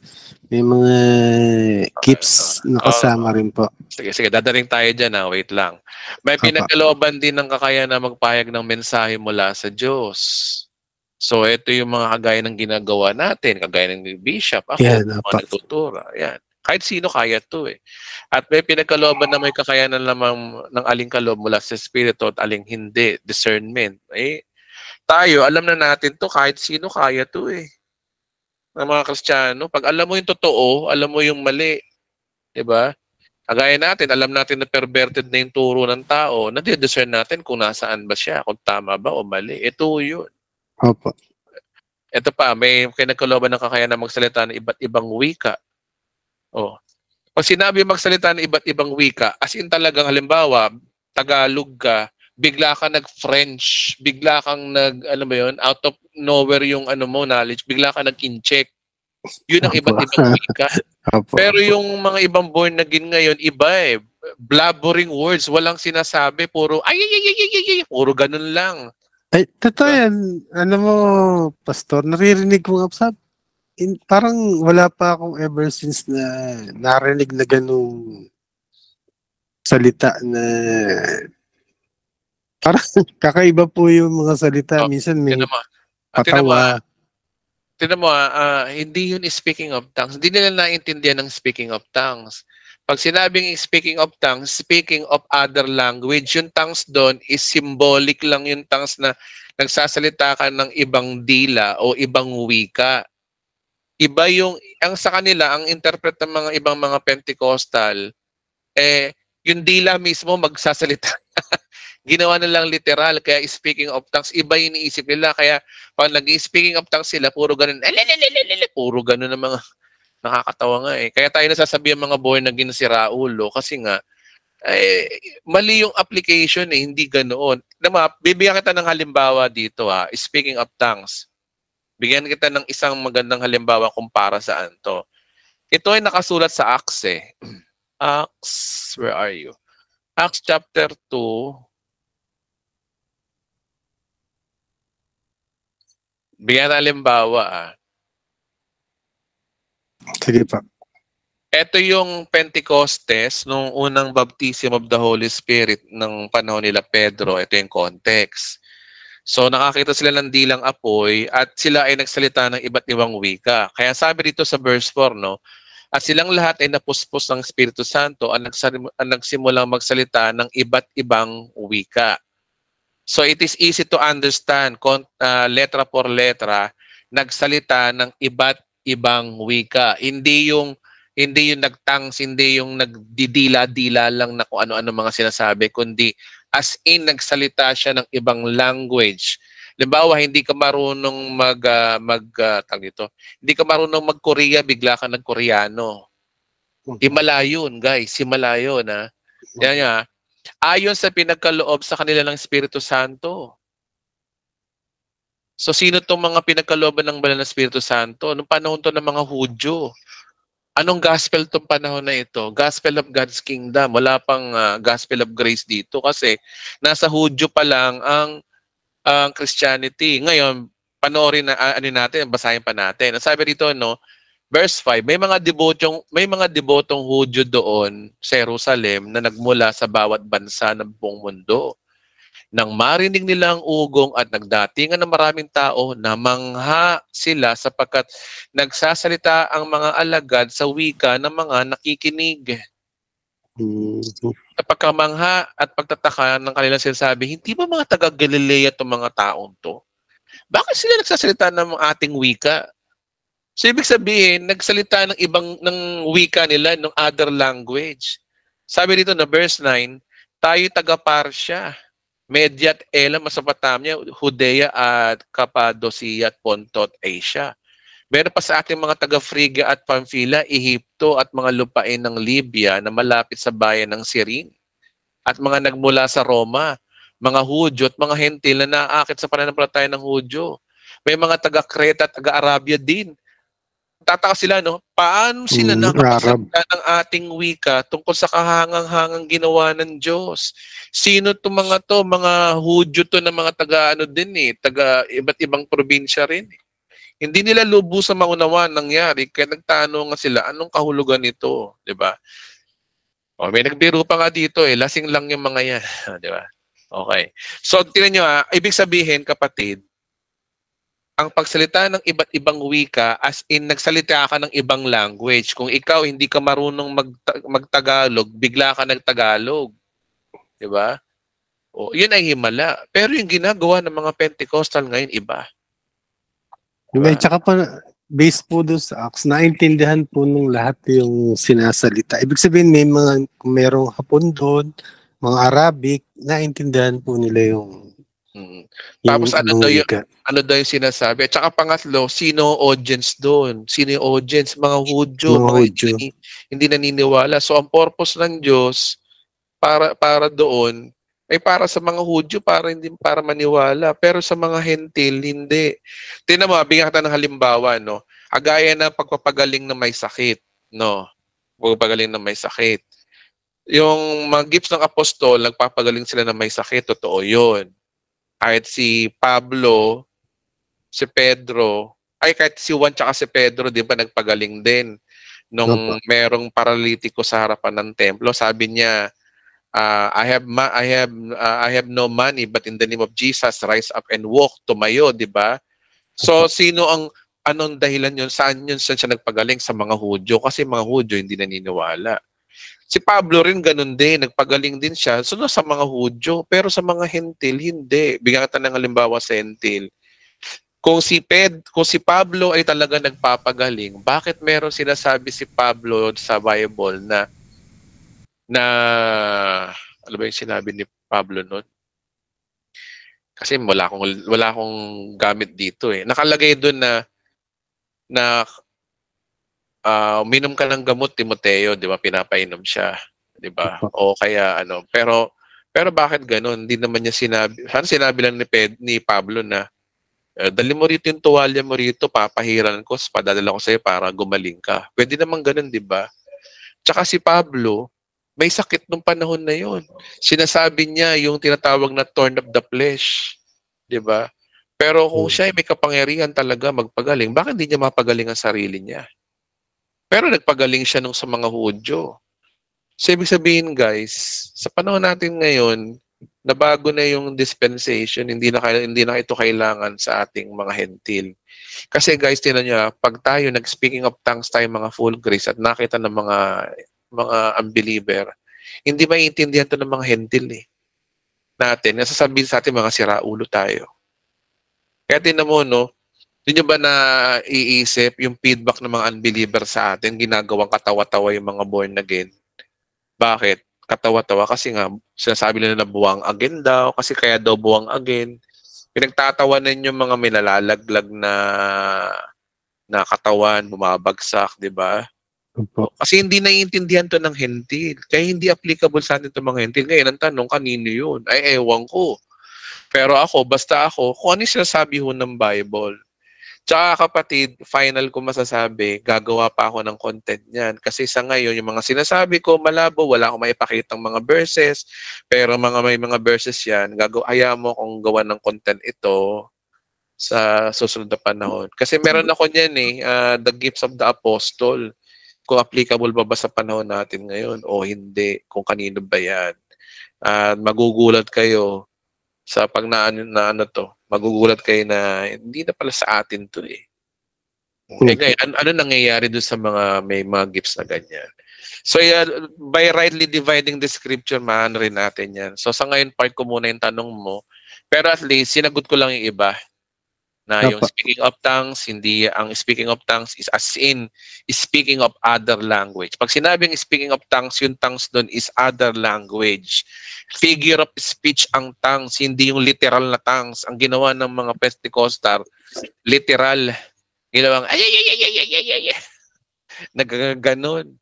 Oh, eh matisod na kayo sa akin pero nagsasabi lang, ito yung mga nakikinig sa akin, matisod na kayo sa akin pero Mga kapatid, lumaya na tayo. Hindi yan ang tinuturo ng Biblia. Ang tinuturo ng Biblia, ang pagsasalita ng iba't ibang wika ay literal na nagsasalita ka ng wika na hindi mo alam. And the moment na ngayon, na oras na yun, na napuspos ka, bigla ka nagsalita ng ibang lingwahe na accurate, may accent pa. Yun doon ako maniniwala. Pero yung sabihin mo na you are, you are blabbering words lang eh kapag nagtatangs yung mga Pentecostal eh. So, yun, yun lang yung ano ko doon. Stand natin doon. Yung una po kasing inatinan ko nun, yung first church na natinan ko nung way back.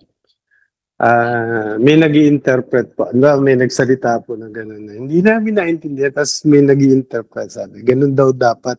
May mag interpret na nag... So hindi ko po po kasi alam dati. Really?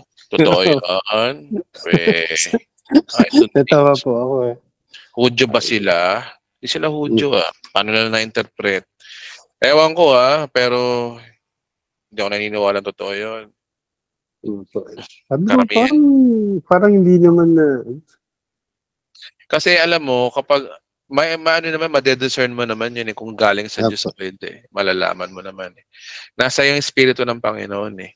Ma mararamdaman mo yun sa Diyos ba to? O sa tao? Tatlo lang naman nararamdaman. yung kapatid eh. Ah, ito ba'y galing sa Diyos, galing sa tao, o galing sa demonyo? Pero kadalasan naman hindi galing sa demonyo. Kadalasan talaga ay galing talaga sa tao. So dalawa lang yan eh. Espiritu ng tao ba yun? Espiritu ng Diyos. Baka emotion lang yun, di ba? So I don't think so.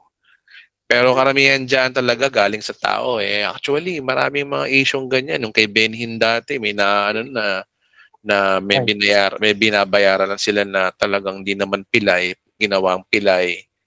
Totoo po Tapos, yan. Oh. Totoo. Yeah, marami mga ano, mga kalokohan ang mga ibang mga born again. Kala mo Catholic lang, hindi, mas malala ang mga born again. Eh dapat hindi tayo ganun. At Ah, saka pi- pinipwersa po nila na ano, kailangan magbigay kayo dahil nagnanakaw kayo sa Diyos. Sabi ko, ha? Sabi ko, talaga? ganun ba ang Sila- May pinipwersa po, ha? Magbigay kayo ng ano. kapag Okay. ang kapag ang pastor nagtuturo na may condemnation, hindi ga, hindi totoong gospel 'yon. Yep. Eh, liwa-liwanag sa Romans chapter 8:1 na walang condemnation kapag na kay Kristo ka na tapos ikaw ikaw condemn yung tao na pag hindi nagbigay ganito mangyayari. So ang tanong, nasa tamang gospel ka ba? Dahil yun ang tanong dun eh, di ba? So, basta guys, mga, mga kapatid, mga nakikinig po sa akin, kapag po halimbawa ang pastor nagtuturo na may halong condemnation na pangungonsensya at pananakot, hindi po totoong gospel yon. Hindi ho ganun ang gospel of grace. Nasaan ang grace doon? May condemnation, kaya nga gospel of grace. eh. So yan, delikado po yan mga kapatid. Huwag kayong ano dyan. Tandaan po natin, kay Kristo may kalayaan. Ngayon, pag kinokondem ka ng pastor mo, hindi yung pastor mo, ah meron siyang maling gospel na tinuturo na hindi o hindi niya naiintindihan. So, ingat-ingat po tayo. Eh, yung, yung pag-attend po ng church, uh, halimbawa po, kasi may reason naman na hindi siya talaga maka-attend ng church. Pero halimbawa, umaattend siya ng ganito na Bible study, Mhm. do yung orientation. May kasalanan po ba doon na involved? Bakit? Ano ba ang kasalanan doon? Sa tingin mo, kapatid, ano kaya kasalanan doon? Yung hindi ka nakaka-attend, yung kailangan pag-attend ka po ng church, Hmm. eh, kailangan magkakasama kayo. Eh, yung, sun, yung Sunday kasi is first day of the week. Mm. So, yun po ay Lord's Day. Tapos, hindi ka po nakaka-attend. Sino may sabing Lord's Day ang first Sunday of the week? Saan sa Bible yung kapatid? Yun ang tanong mo sa kanila eh. Saan sa Bible yun? Saan sa Bible na dapat first Sunday of the week ganito ang gawin mo? Saan sa New Testament yun? Kasi tinan mo, no, yan ang tinanim sa atin ng religion. Yung bang, ah, nagiging religion eh na Sunday, bakit? Hindi ka ba pwedeng manambahan ng ibang araw? Hindi ka ba pwedeng, hindi ka ba pwedeng manambahan ng Hindi ka ba pwedeng manambahan ng online na lang? Hindi ka na pumunta? At saka pangatlo, Kasalanan ba na hindi manambahan? Hindi po umaten ng church? Kasalanan ba yun? Opo. 'Di ba? 'Yun ang tanong doon eh. Kasi tingnan mo di, dapat kasi ang ano natin dito, yung perspective ng Diyos. Sa mata ba ng Diyos kasalanan ba 'yun? O sa mata lang ng tao 'yun? 'Di ba? Kasi ang liwanag sa Bible na tayo malaya. Maliwanag sa Bible na pinatawad ng ating mga kasalanan. Bakit nagkakasala ka pa hindi ka lang naka-attend ng church? Eh, yan yung turong yan kasi ay ano na yan eh, salin-salin na yan eh. Mula sa Romano Katoliko, lum- mula sa mga Methodist, mula sa mga Pentecostal, mga born again, Iglesia ni Cristo, lahat ng religion ganyan eh. Na kailangan mong maging, masyadong sagrado sa kanila yung linggo na dapat daw sa Diyos. Oh, Hindi eh, ko nga pa- po na nabasa yan kay kay ano Apostol Pablo. Sabi ko wala akong nabasa kay Apostol Pablo. Na, Oh, meron may pero may pababasa ako sa iyo, kapatid. May sinabi ang ganyan si Pablo eh. Basahin natin, no. Sabi sa Hebreo chapter 10 verse 25. Ito yung magiging ito lang yung verse na sinasabi ni Pablo eh. Sabi rito, no. Tingnan mo ha, tingnan mo yung ah, kung babasahin natin ito na maigi, iintindi natin, makikita mo dito eh, kung ano yung talagang totoong sinabi ni Pablo. Eh. Sabi dito, no, huwag nating kaligtaan ang pagdalo sa ating mga pagtitipon. Tanungin muna, ang, ang tanong kasi muna dito, sinong kausap ni Pablo dito? Mga Hudyo. Kasi itong book of Hebrew is a book of for the Jews.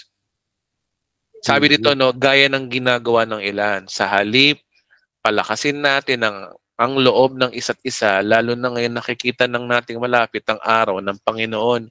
Etong verse lang na to ang nag-iisang verse sa New Testament na nagsasabi regarding sa pag-attend ng church. Pero hindi, kung babasahin mo, hindi naman utos eh, no?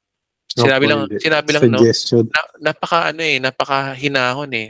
Uy, huwag natin kalimutan na na umaten ng ating pagtitipon. Kasi kagaya kasi ng ginagawa ng iba. Sa halip, magpalakasan tayo. Ng loob na, Mm. sa ang purpose pala ng pumunta ng church ay palakasan. Kasi lalo na Mm, ngayon, may hope po, lalo na ngayon nakikita nating malapit ng araw ng Panginoon o yung second coming o yung pagdating ng Panginoon. So ibig sabihin dito, oh, walang utos. Ah, reminder lang po para lumakas. Tumibay yung pananampalataya. Parang gano'n. Di ba? Eh, totoo naman yan, di ba? Kapag nakaka-attend ka ng Bible study, kagaya nito, di ba? Nagkakaroon, yun lang advantage. Nagkakaroon ka lang kalakasan.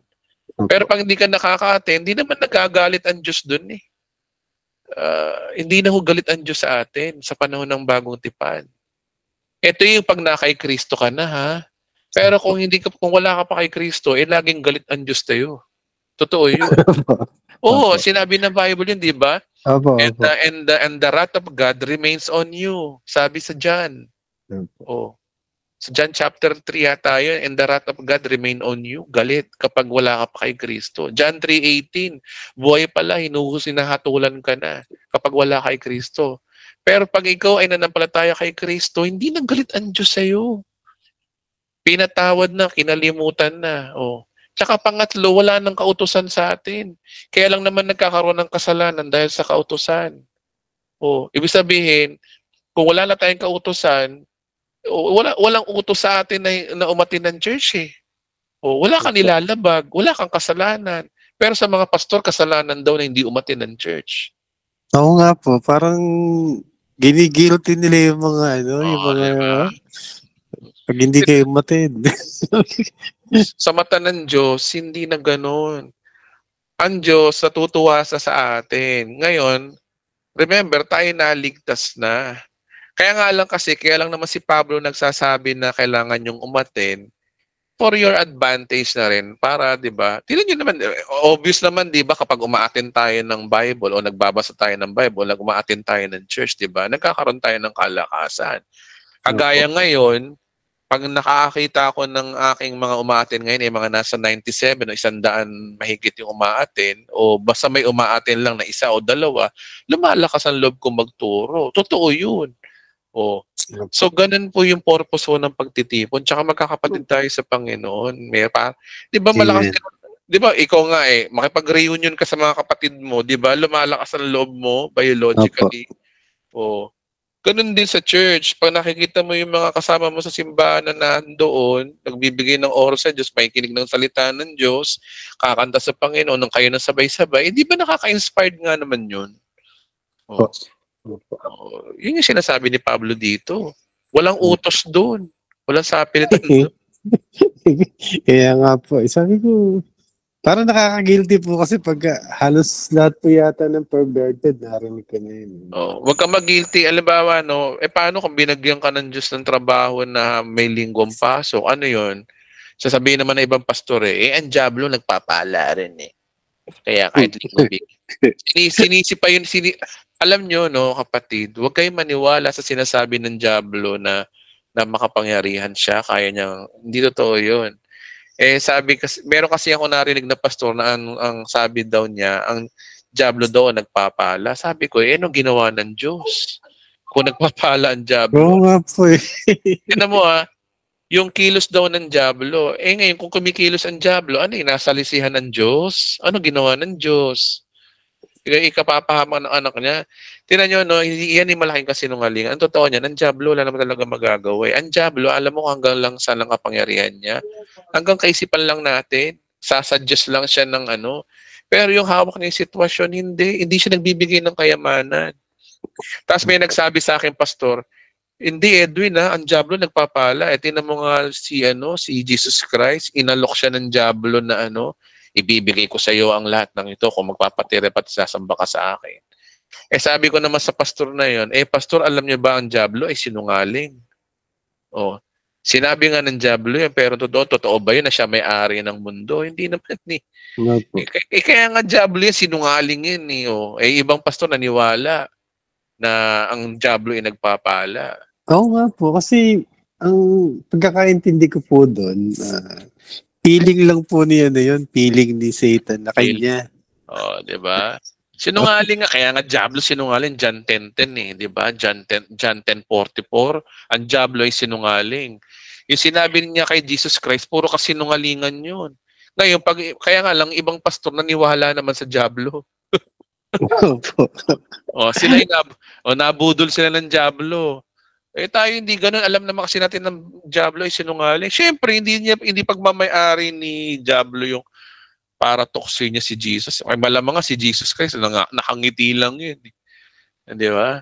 Kasi nga, eh, say, alam niyo, it takes wisdom talaga kapatid. It takes the Holy Spirit para maintindihan mo ang Bible. And without the Holy Spirit, hindi mo maintindihan ng Bible. Kaya kung hindi ka pa born again, talagang hindi mo maiintindihan ng Bible. Hindi mo makikita yung kaharian ng Diyos. Yung kaharian ng Diyos dito, yung Bible. Opo. Oo. Kaya, amen. oo, kaya, Che, pero yung tanong mo regarding sa gifts, ano na, atat na atat na akong gawin yan eh. Kaya nga lang, wala, talaga, wala lang akong time. Wala lang talaga akong time kasi nga, uh, basta, gustong gusto kong gawin yan eh. Meron na akong ano yan eh, nakalaan na outline yan eh. Hindi ko lang magawa pa. Maganda po kasi yung topic yan kasi yung a- alam ko sa Baptist po kasi nag-start yan. Narin, nagbabubble sila. Sabi ko, ano yung ginagawa niyo? Speaking of tongues yan, yung puspus ka. Ha? Sabi ko, sino nakakaintindi ng ano nyo? Angelic daw po yun, angelic. Angel. sabi ko, talaga? Sabi ko, Oh, tinan nyo, puro wala na sa Bible sinasabi nila, angelic. Saan sa Bible yun? Na angelic yung, ay, ay, ay, ay, ay, ay, ay. Angelic daw yun. Saan sa Bible yun? Di, maraming, maraming, ano, maraming mga turo ang mga pastor ng born na wala sa Bible. Wala, wala sila maipakita. Dapat kasi, kung may tuturo tayo sa tao, biblical verses with with the support of by context. Si Elio Soriano, lagi niya pinagmamalaki, nasa Bible sinasabi ko, pero karamihan out of context. Ang pagsabi ng totoo sa Bible, kailangan, bukod sa sa Bible, kailangan nasa tamang konteksto. Oo. Yun ang mahalaga ron. At magagawa mo lang yun by the guidance of the Holy Spirit, hindi sa runong mo. Kasi kung sa dunong lang, hindi mo maiintindihan din kung ikaw opo, opo. Di ba? So, sino nataas? Ang Diyos. Hindi tayo. opo. Mm, Tsaka parang po. nakaka-curious po, pagka nag-speaking in tongues daw po na ganun, sabi ko, sino kaya ang pinipraise nila dun pagka nag-speaking tongues sila. Oo. Yun po yung question ko dun. Galing ako ng Pentecostal, karamihan dyan emotions. Ako, saksi ako doon, emotions lang, karamihan dyan. Para sa akin, na ayon sa experience ko when I was in Pentecostal. Emotions lang, nadala lang ng ano, agaya dati noon, no, may inatin ako noon, emotions lang eh. Ah, yung EGR, tapos itutusok yung, ah, magtuturo ng pastor about the cross, tapos paiiyakin ka, kailangan raw umiyak. Tapos tutusok mo yung ano, bibigyan ka ng pako, no? Tutusok mo daw yung pako do sa ano, para ramdamdamin mo raw yung ah, ginawa ni Kristo sa iyo. Yung ano, Mm, tapos mm. mag-iiyakan na, may, may mga taga-iyak yun ha. So ano yun, ibig sabihin, that's not true. Emotion lang kung bakit kami nag-iiyakan kasi nadala kami sa music, nadala kami sa mga kapatid namin na mga kasama namin nag-iiyakan na din. Oh. Kaya nakiiyak na rin kami. Ako naman, nabudol din, nakiiyak na rin ako. Oh. Oh. After one week, na bago ba ang buhay? Hindi. Balik sa inom, balik sa ano. Wala. Di ba? Opo, opo. Kaya kapatid, wala. ah, es- et, yung emotion ko lang ah, ayon sa aking ah, experience, kadalasan dyan, emotion lang. Ang totoong, ban, ang totoong puspos na banal na spirito, naiintindihan po ang salita ng Diyos. Yun ang totoo. Yun po yung, kasi anong liwanag ng Bible na ang ministry ng banal na spirito, ipaliwanag ang banal ang salita ng Diyos. O. Kaya kapag naintindihan mo salita ng Diyos, ibig sabihin, nasa yung spirito ng Panginoon. Diba? Yun lang naman po yun eh. Pero sige, ipapark ko yan tanong mo nga. Ano yung mga gifts na ba't may ganyan? Ah, bigyan mo lang ako ng ano. Sapat na time para dyan. Ah, Sige po, sige po. Sige po, Pastor. Okay, Okay. po. okay. Salamat po. Okay, salamat po. Alright, so 9.43 p.m. ah, katok pa tayo ng ibang tanong. Si Ing, ano naman, ah, tawag dito, babae naman, hanap tayo ng girly.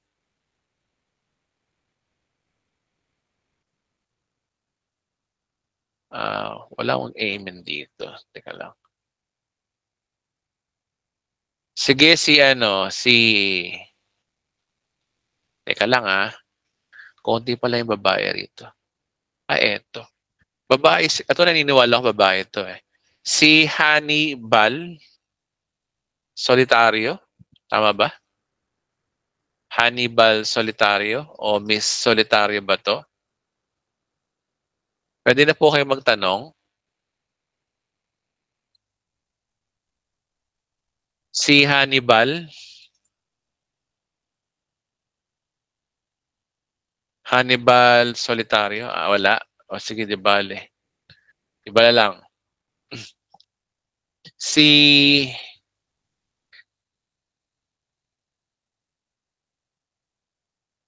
Sino ba kaya?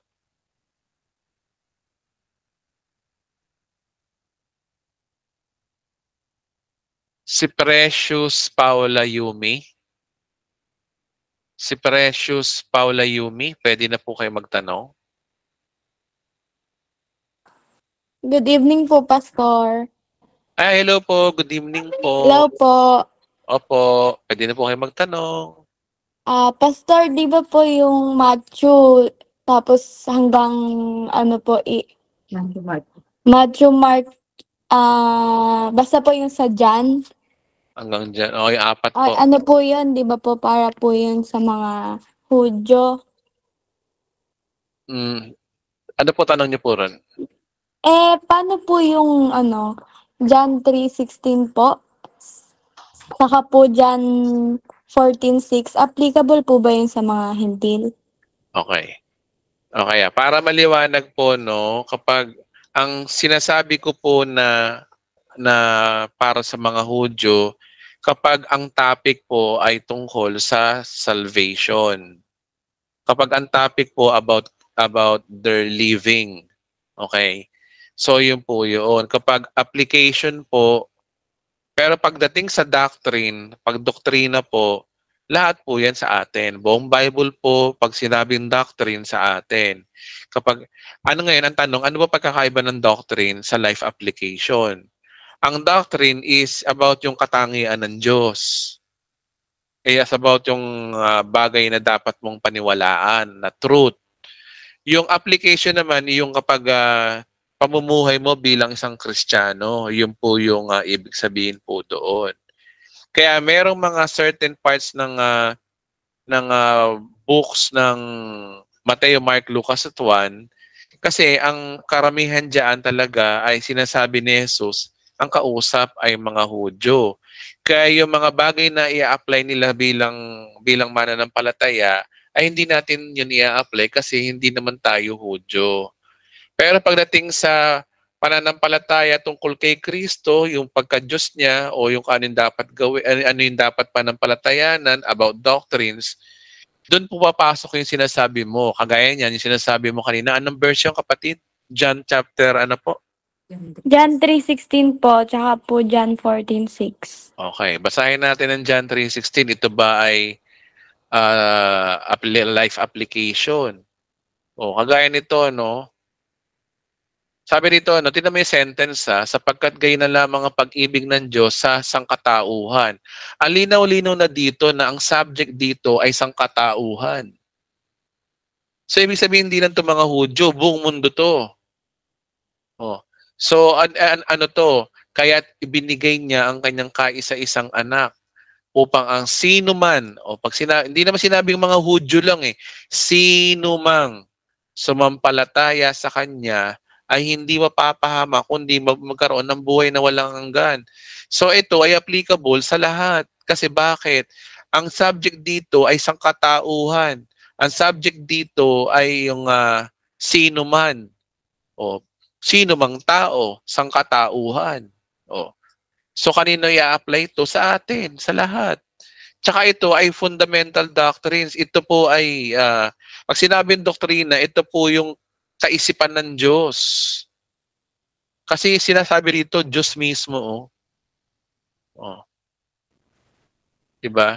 Kasi kung sasabihin natin sa Hudyo lang to, eh lumalabas nun, eh di, di dada- ibig sabihin hindi tayo mananampalataya kay Kristo. Diba? Eh kasi depende yung kapatid sa sinasabi ko kasi ng ano eh. Sa sinasabi ko kasi ng ng ah, context. Tsaka yun John chapter 14 verse 6 din, no? Sabihin na natin ng kausap dito mga disipulo. Pero ang sabi kasi rito, no?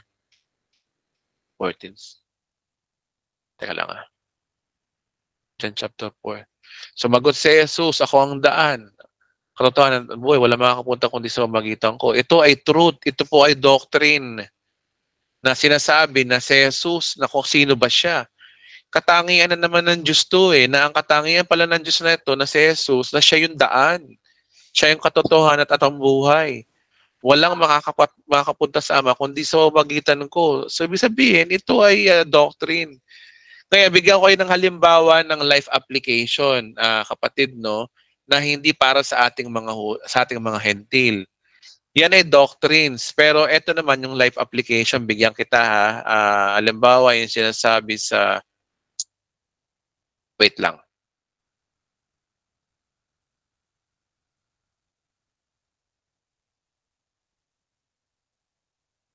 Wait lang ah.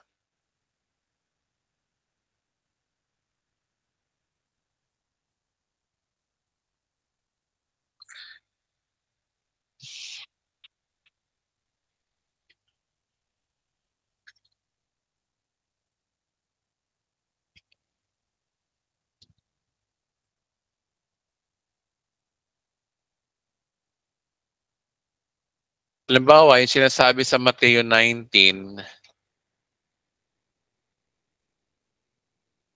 verse 16.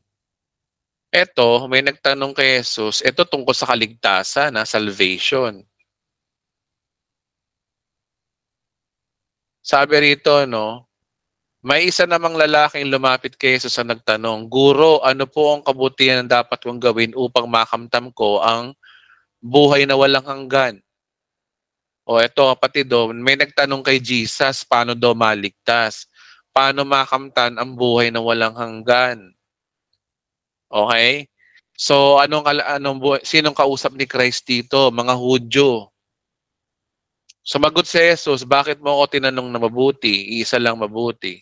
Ngunit kung nais mo na makamit ang buhay na walang hanggan, ano sabi rito, no? Sundin mo ang kautosan ng Diyos. Oh. O, di ba? Kung i-apply mo to, edi hudyo ka na. Sabi ko, para hindi kayo malito mga kapatid, no? Kapag ang issue ay salvation, makinig tayo kay Pablo. Pero pag ito, salvation to, tinanong si Jesus eh, sa salvation eh. Oh. So ano ba yung mga yun? Ano daw tanong niya? Sumagot si Jesus, huwag ka mga patay, huwag kang magnangalon niya, huwag ka magnanakaw. O, sampung utos to eh. Oh. Sabi ng bata, tinupad ko na po ang lahat ng yan. Ano po ba ang dapat kong gawin? Sumagot si Jesus, kung ibig mo maging ganap, pagbili mo ang lahat, kulang pa pala kay Jesus yung sinunod. Kaya walang pumapasa sa kautusan, lagi may kulang eh. Oh. Yan po ay kaligtasan po sa perspective ng mga Hudyo. Si Jesus Christ kasi nabubuhay under the law ng panahon na ito. Hindi pa ho siya namamatay, wala pang hentil na ito. Pero ngayon, tatanungin mo ako, paano ba maligtas? Eh, doon tayo sinasabi ni Apostol Pablo, Ephesians, paano ba maligtas? Eh, ay, hindi na lang. Sige, ano na lang. ah Titus 3.5, paano ba maligtas? Hmm. Ito ay contradict sa sinasabi ni Christ. Sabi rito, no, iniligtas niya tayo hindi dahil sa ating mabubuting gawa. Oh, sinabi ni Christ, sumunod sa utos ng Diyos, pero ba't dito, naligtas tayo hindi sa mabubuting gawa, kundi sa ating kanyang habag sa atin. Tayo pinanganak na muli sa magin ng tubig at tayo binago ng Espiritu Santo. O, tinan nyo, magkaiba si Pablo at si Jesus. O ngayon ang tanong, contradict ba ang Bible? Hindi. Dispensation. Hermeneutics din. Sino kausap? Mga Hudyo. Yung kay Christ. Sino kausap ni Pablo dito? Mga Hentil. Kaya ang big idea dito mga kapatid, pag-usapang salvation, makinig po tayo kay Pablo. Dahil maraming sinasabi ang mga apostol tungkol sa salvation na panghudyo. Pero bukod dun, wala na. Hindi ko sinasabi na wag na kayo magbasa ng Mateo, Marcos, Lucas 1. Hindi po totoo yun. Ang sinasabi ko po dito, kapag ang issue ay salvation. Kung napanood nyo po yung part 8D ng katapusan ng mundo, di ba sinabi ko doon, kapag ang issue ay salvation, dapat makinig tayo. Dapat iano, i-divide natin ang scripture. Oh.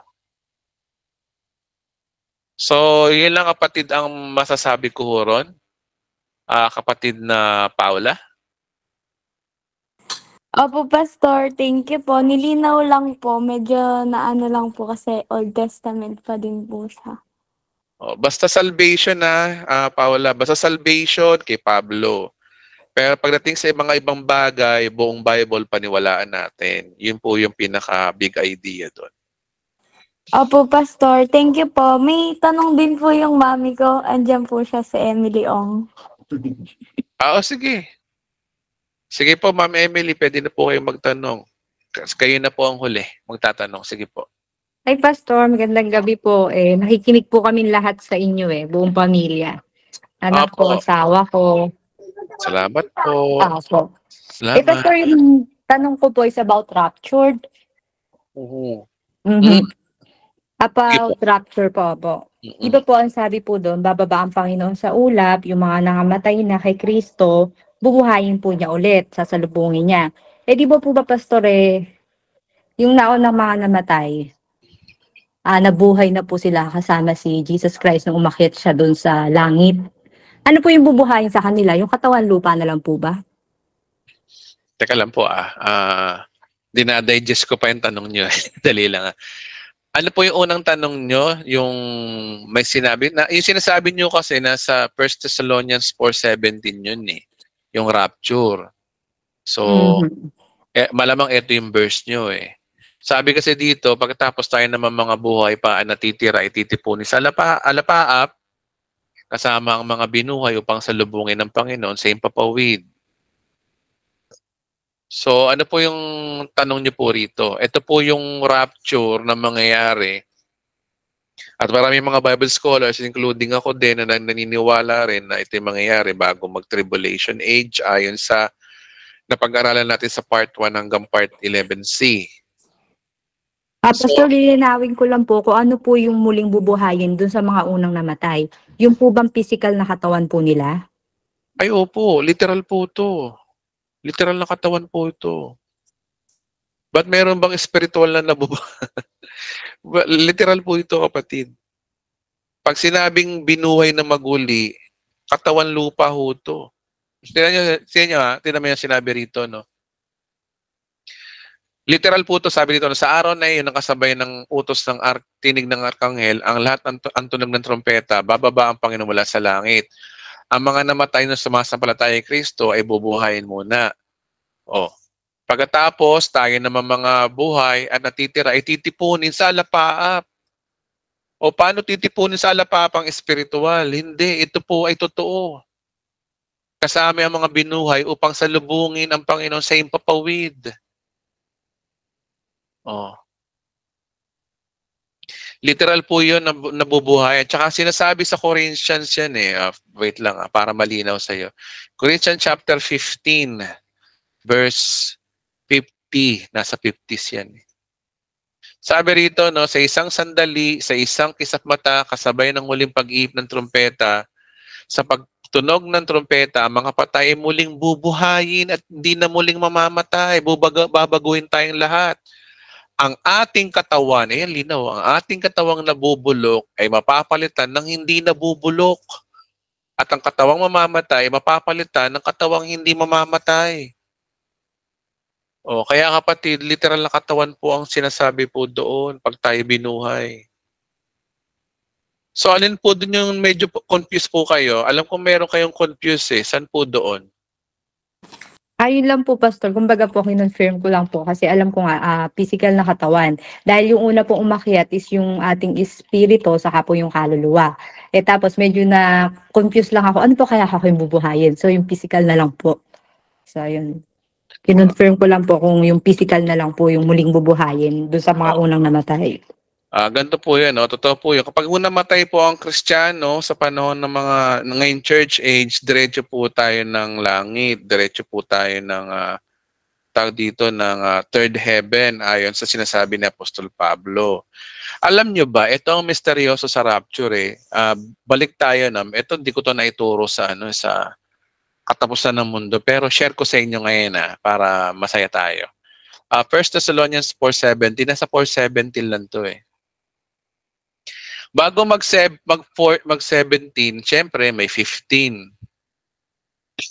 At mayroon ding ah ah, 13. So simulan natin sa 13. Sabi dito no, mga kapatid, nais naming malaman ninyong katotohanan tungkol sa mga namatay na upang hindi kayo magdalamhati tulad ng mga taong walang pag-asa. Dahil naniniwala tayong si Jesus ay namatay at muling nabuhay, naniniwala din tayong bubuhayin ng Diyos ang lahat ng namatay na sumasampalataya kay Jesus upang isama sa Kanya. Tingnan ito ah, uh, ito sa Greek, ay sa King James. For if we believe that Jesus died and rose again, even so them so which sleep in Jesus will God bring with Him. Sabihin, kasama ni Kristo sa rapture, yung katawang kaluluwa natin. Ibig sabihin, from he- sa, sa panahon pala ng rapture, di ba, halimbawa, ikaw, namatay ka, no? Wag naman, wag naman sana, sana abutan tayo ng, rapture lahat. Pero halimbawa, namatay ang isang tao, isang Christian, dumating sa, umakit siya sa langit, yung kanyang spirito, pero yung kanyang katawan lupa, nandito sa lupa. Either na na-cremate o na-libing, o whatever. Ngayon, pag nag-rapture na, bababa si Kristo, di ba? So bababa siya rito hanggang alapaap. Alam nyo, may kasama si Kristo, yung espiritu at kaluluwa natin. Ito yung verse na yun, no? God will bring with, with Him. Ngayon, yung katawan lupa natin, doon magsasama yun. Kung halimbawa, nakalibing ka, yung katawan lupa mo, tsaka yung espiritu at kaluluwa mo, magjo-join uli. Saan sa Bible? Ito, For if we believe in Jesus died and rose again, even so, which sleep in Jesus. Bagala lang natin ang pagbabasa. Jesus will God bring with him. Hmm. Basahin natin maigi. Upang isama sa kanya, saan isasama? Pagbaba ng lupa. O ano, bakit ko sinabi yung pagbaba ng lupa? Verse 15, ito ang aral ng Panginoon. No? Di ba sa araw na yon kasabay ng malakas na utos ng tinig ng arkanghel ang tunog ng trompeta, bababa mula sa Panginoon mula sa langit. Ibig sabihin yung mga namatay na kasama rin ni Jesus. Yung kanilang kaluluwa at espiritu. Tapos yung katawan lupa, bubuhayin yun. Yung mga nasa nicho. O yung mga nasa sementeryo. O kung na-cremate ka, mabubuo ka. Kahit anong, kahit na alikabok ka lang, mabubuhay ka uli, bubuuin ng Diyos yun. Pagkatapos tayo mga buhay pa, ititipunin niya sa alapaap. Sasama niya. Kaya nga napaka-misteryoso itong rapture na to eh. Talagang kikilabutan kayo pag nangyari to eh. Talaga mabubuhay yung mga patay dito. Ito yung unang pagkabuhay. Ito yung rapture ang sinasabi. At magiging malinaw to sa part 12 ngayon na, pinag- na ginagawa ko ngayon yung ah, yung yung ang babaeng ikakasal, yung bride of Christ, nandun na ho tayo ngayon. Magiging maliwanag to doon. Mas papaliwanag ko roon. So, yun lamang po ang gusto kong i-share sa inyo regarding po dyan. So, nasagot ko po ba, Miss Pre, Miss, uh, ano ito? Emily po. Opo. Miss Emily po po. Apo, Pastor. So, meron pa po isang confusion, Pastor. Ah, sabi niyo po kasi dun sa video niyo, exclusive ang rapture para sa mga Gentiles. Eh, paano po yung mga Jews na nanampalataya kay Jesus? Hindi po ba masasama din sila sa rapture? Kasi ang liwanag sa sinasabi sa Bible na sinabi ni Pablo, di ba, na wala ng Hudyo, mga Hentil, ang nakay Kristo. Ibig sabihin, kung ang Hudyo nung panahon ni Kristo ay nanampalataya kay Kristo, kasama na siya sa ikatlong grupo, yung iglesia, yung church. Kaya nga ang church is consists of Jews and Christians. Hentil and, at saka Jews kasama ho doon. Tingnan niyo to, ah, huwag kayong ma-confuse doon. Ang sinasabi ko lang po doon yung dispensation, yung panahon. Pag sinabing dispensation, panahon ng mga Hudyo, ganito kaligtasan. Nung panahon na dumating si Kristo at namatay siya, nabuhay na maguli, na iba na yung kaligtasan. Pero may Hudyo pa rin naman, may mga tao pa rin mga Hudyo, di ba? Iba yung panahon. Ibig sabihin doon, ang sinasabi kong kaligtasan, iba yung, yung sa pan, ayon sa panahon. Pero ngayon, sa panahon ngayon, ang kaligtasan ay na kay Kristo. Kaya hindi na, kaya, kaya yung ginagawa ng mga Hudyo sa panahon ngayon, yung mga nasa Jerusalem ngayon, na under the law, hindi yung ligtas. Kasi may bagong covenant na, ang bagong covenant na kay Kristo na. Oh. Ang sinasabi kong i-divide natin, hindi yung grupo ng tao, kundi yung dispensation ang sinasabi ko ron. Ang kaligtasan sa panahon ng bago ng Old Testament, sa panahon ng mga Hudyo, ganito. Pero sa panahon ngayon,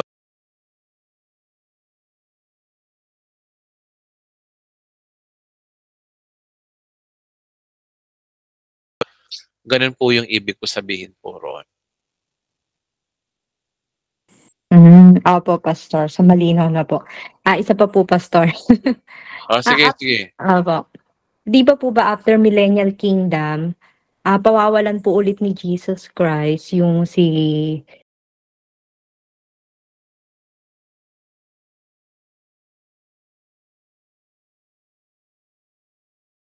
po siya doon para wala na pong ibang madeceive pa after a thousand year. Ah, una ho sa lahat, ang Bible po kasi na isulat na yan, nakatakda na kung mangyari yan, nakita na ng Diyos yan. Hindi natin pwedeng masasagot ngayon yan, kapatid, kasi masasagot lang natin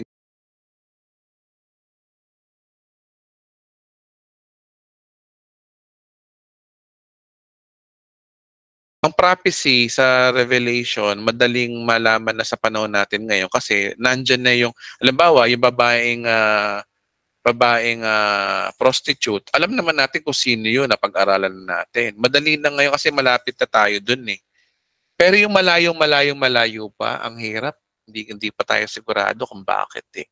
bakit kailangan pang ikulong, bakit kailangan pang pakawalan. Malalaman natin to kapag naghahari na tayong kasama ni Kristo dito sa lupa. Doon pa lang natin malalaman yun.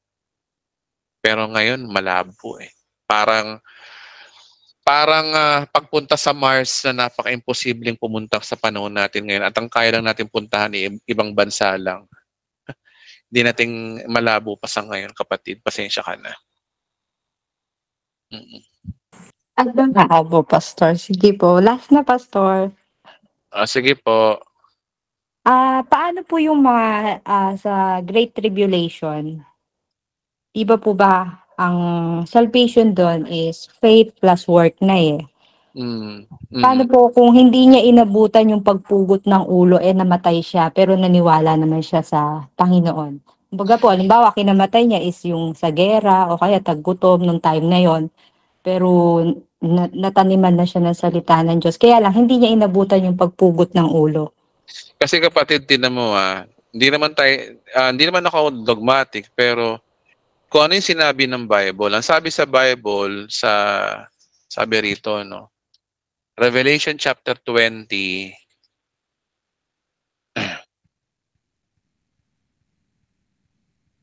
ito yung salvation eh, ng tribulation saints ha. Sabi dito, no, nakakita ako ng mga trono at mga nakaluklok at binigyan ng karapatang matol. Nakita ko rin ang kaluluwa ng mga pinugutan dahil sa pagpatotoo kay Jesus at payag ng salita ng Diyos.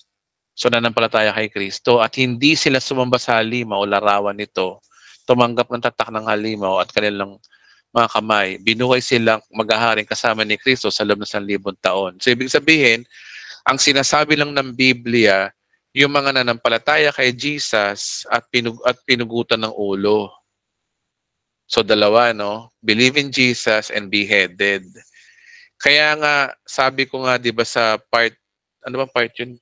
Yung video na yun? Sa part 11 ba yun? Ay, sorry. Pati ko, nakalimutan ko na yung content ko. Ha. Sa part 8D o part, part 8E pala, part 8E, nabanggit ko na yan eh, na ang the best na salvation ay panahon ngayon kasi pag nag-rapture at naiwan ka at namatay ka kagad, di tayo sigurado kung ligtas ka. Baka ka ka pa rin. Kasi ang usapan kasi dito, faith in Jesus and beheaded. Kaya nga 'di ba sabi ko doon sa content ng part 8E na kung meron mang pilahan ng pugutan ng ulo, pumila ka na, papugot ka na. Kasi yun lang ang kaligtasan mo hindi magpatatak sa halimaw at manampalataya kay Kristo, kaya nga lang, pag hindi ka naman magpatatak sa halimaw, pugot ang ulo mo, okay lang, ligtas ka. Eh, masakit nun, paano kung sa World War pa lang patay ka na? Eh, hindi natin sigurado. Pero malamang hindi ka ligtas. Oh. Kasi ang perpo, ang hahanapin kasi dito yung dugo mo eh. Wala na magbabayad ng dugo sa iyo para maligtas ka. Sa panahon ngayon ng church age, si Kristo ang kabayaran ng dugo, ng, ng dugo ng kordero. Pero sa tribulation, kailangan doon ng dugo mo at mangyayari yun kung magpapapagod ka ng ulo. Kasi ang linaw dito, no, yung mga naligtas daw dito, no, nakita ko rin silang kaluluwang pinugutan dahil sa pagpapatotoo tungkol kay Jesus. 'Di ba? Nanampalataya kay Kristo to tapos hindi siya nagpatatak eh. Oh. Anong anong nangyayari sa kanila? Binuhay sila upang magharing kasama ni Kristo sa loob ng sanlibong taon. So take the risk, di tayo sigurado doon kapatid. Kaya nga lang, paano kung hindi, yari ka. Oh. So kaya ang pinaka the best na maligtas ay sa panahon ngayon church age hanggang sa hanggat hanggat bargain na bargain pang salvation, libre pa. Hanggat ang gagawin mo lang is magtiwala ka sa ginawa ni Kristo na ikay pinatawad nung nabubuo ang kanyang dugo sa krus ng Kalbaryo. Hanggat nandun tayo kasi sa tribulation, nowhere, malabo. Kaya nga sabi ko sa inyo, malaki ang chance nyo na hindi maligtas kapag naiwan kayo sa tribulation. Malaki ang chance nyo. Oh. Kaya huwag ka magpapaiwan, kapatid. De, joke lang. huwag tayo magpaiwan. Sa bagay, hindi naman tayo may iiwan na kasi tayo na nampalataya na kay Kristo. So yun lamang po mga kapatid. Ah, Ma'am Precious, maraming salamat po. Ah, nandiyan pa po ba kayo? Thank you po. Thank you po, Pastor. Thank you po. Opo. Next week na niya lang itanong po yung iba kung loloobin ng Diyos na tayo po ay makapagtanong muli. Pero ngayon po ay medyo overtime na tayo. Pagpasensya nyo na po. At wag po kayo mawawala next week. Part 2 po ng ating series ng Bibliology. At ang Bibliology po ay mahalagang pundasyon kasi po yan po ay ating ah, ah, pundasyon ng pananampalataya. Siyempre, paano pananampalataya na si Kristo kung hindi ka naniniwala na ang Bible ay salita ng Diyos? At yan yung pag-ausapan natin sa loob ng anim na linggo. Patitibayin natin ang pananampalataya natin na ang Bible ay salita ng Diyos. So yun lamang po. Maraming maraming salamat po sa lahat. Magandang gabi po. Magandang gabi Thank you po, din Pastor. Thank you po, Pastor. pa Magandang gabi, Pastor. God bless Rito. Kailan nga po pala yung Well, Night po sa lahat. Pastor. Salamat po, Pastor. Pastor. mensahe. Thank you. Thank you, Pas. Salamat po. Always. Rito sa lahat. Rita, give me night. Rito. po. Okay, maraming maraming salamat po. Mahal na mahal ko po kayong lahat, mga kapatid ko sa pananampalataya. Makita-kita tayo sa rapture ha. Maraming maraming salamat po sa lahat ng umaten. At see you next week po kung hindi pa ho magra-rapture. Goodbye po.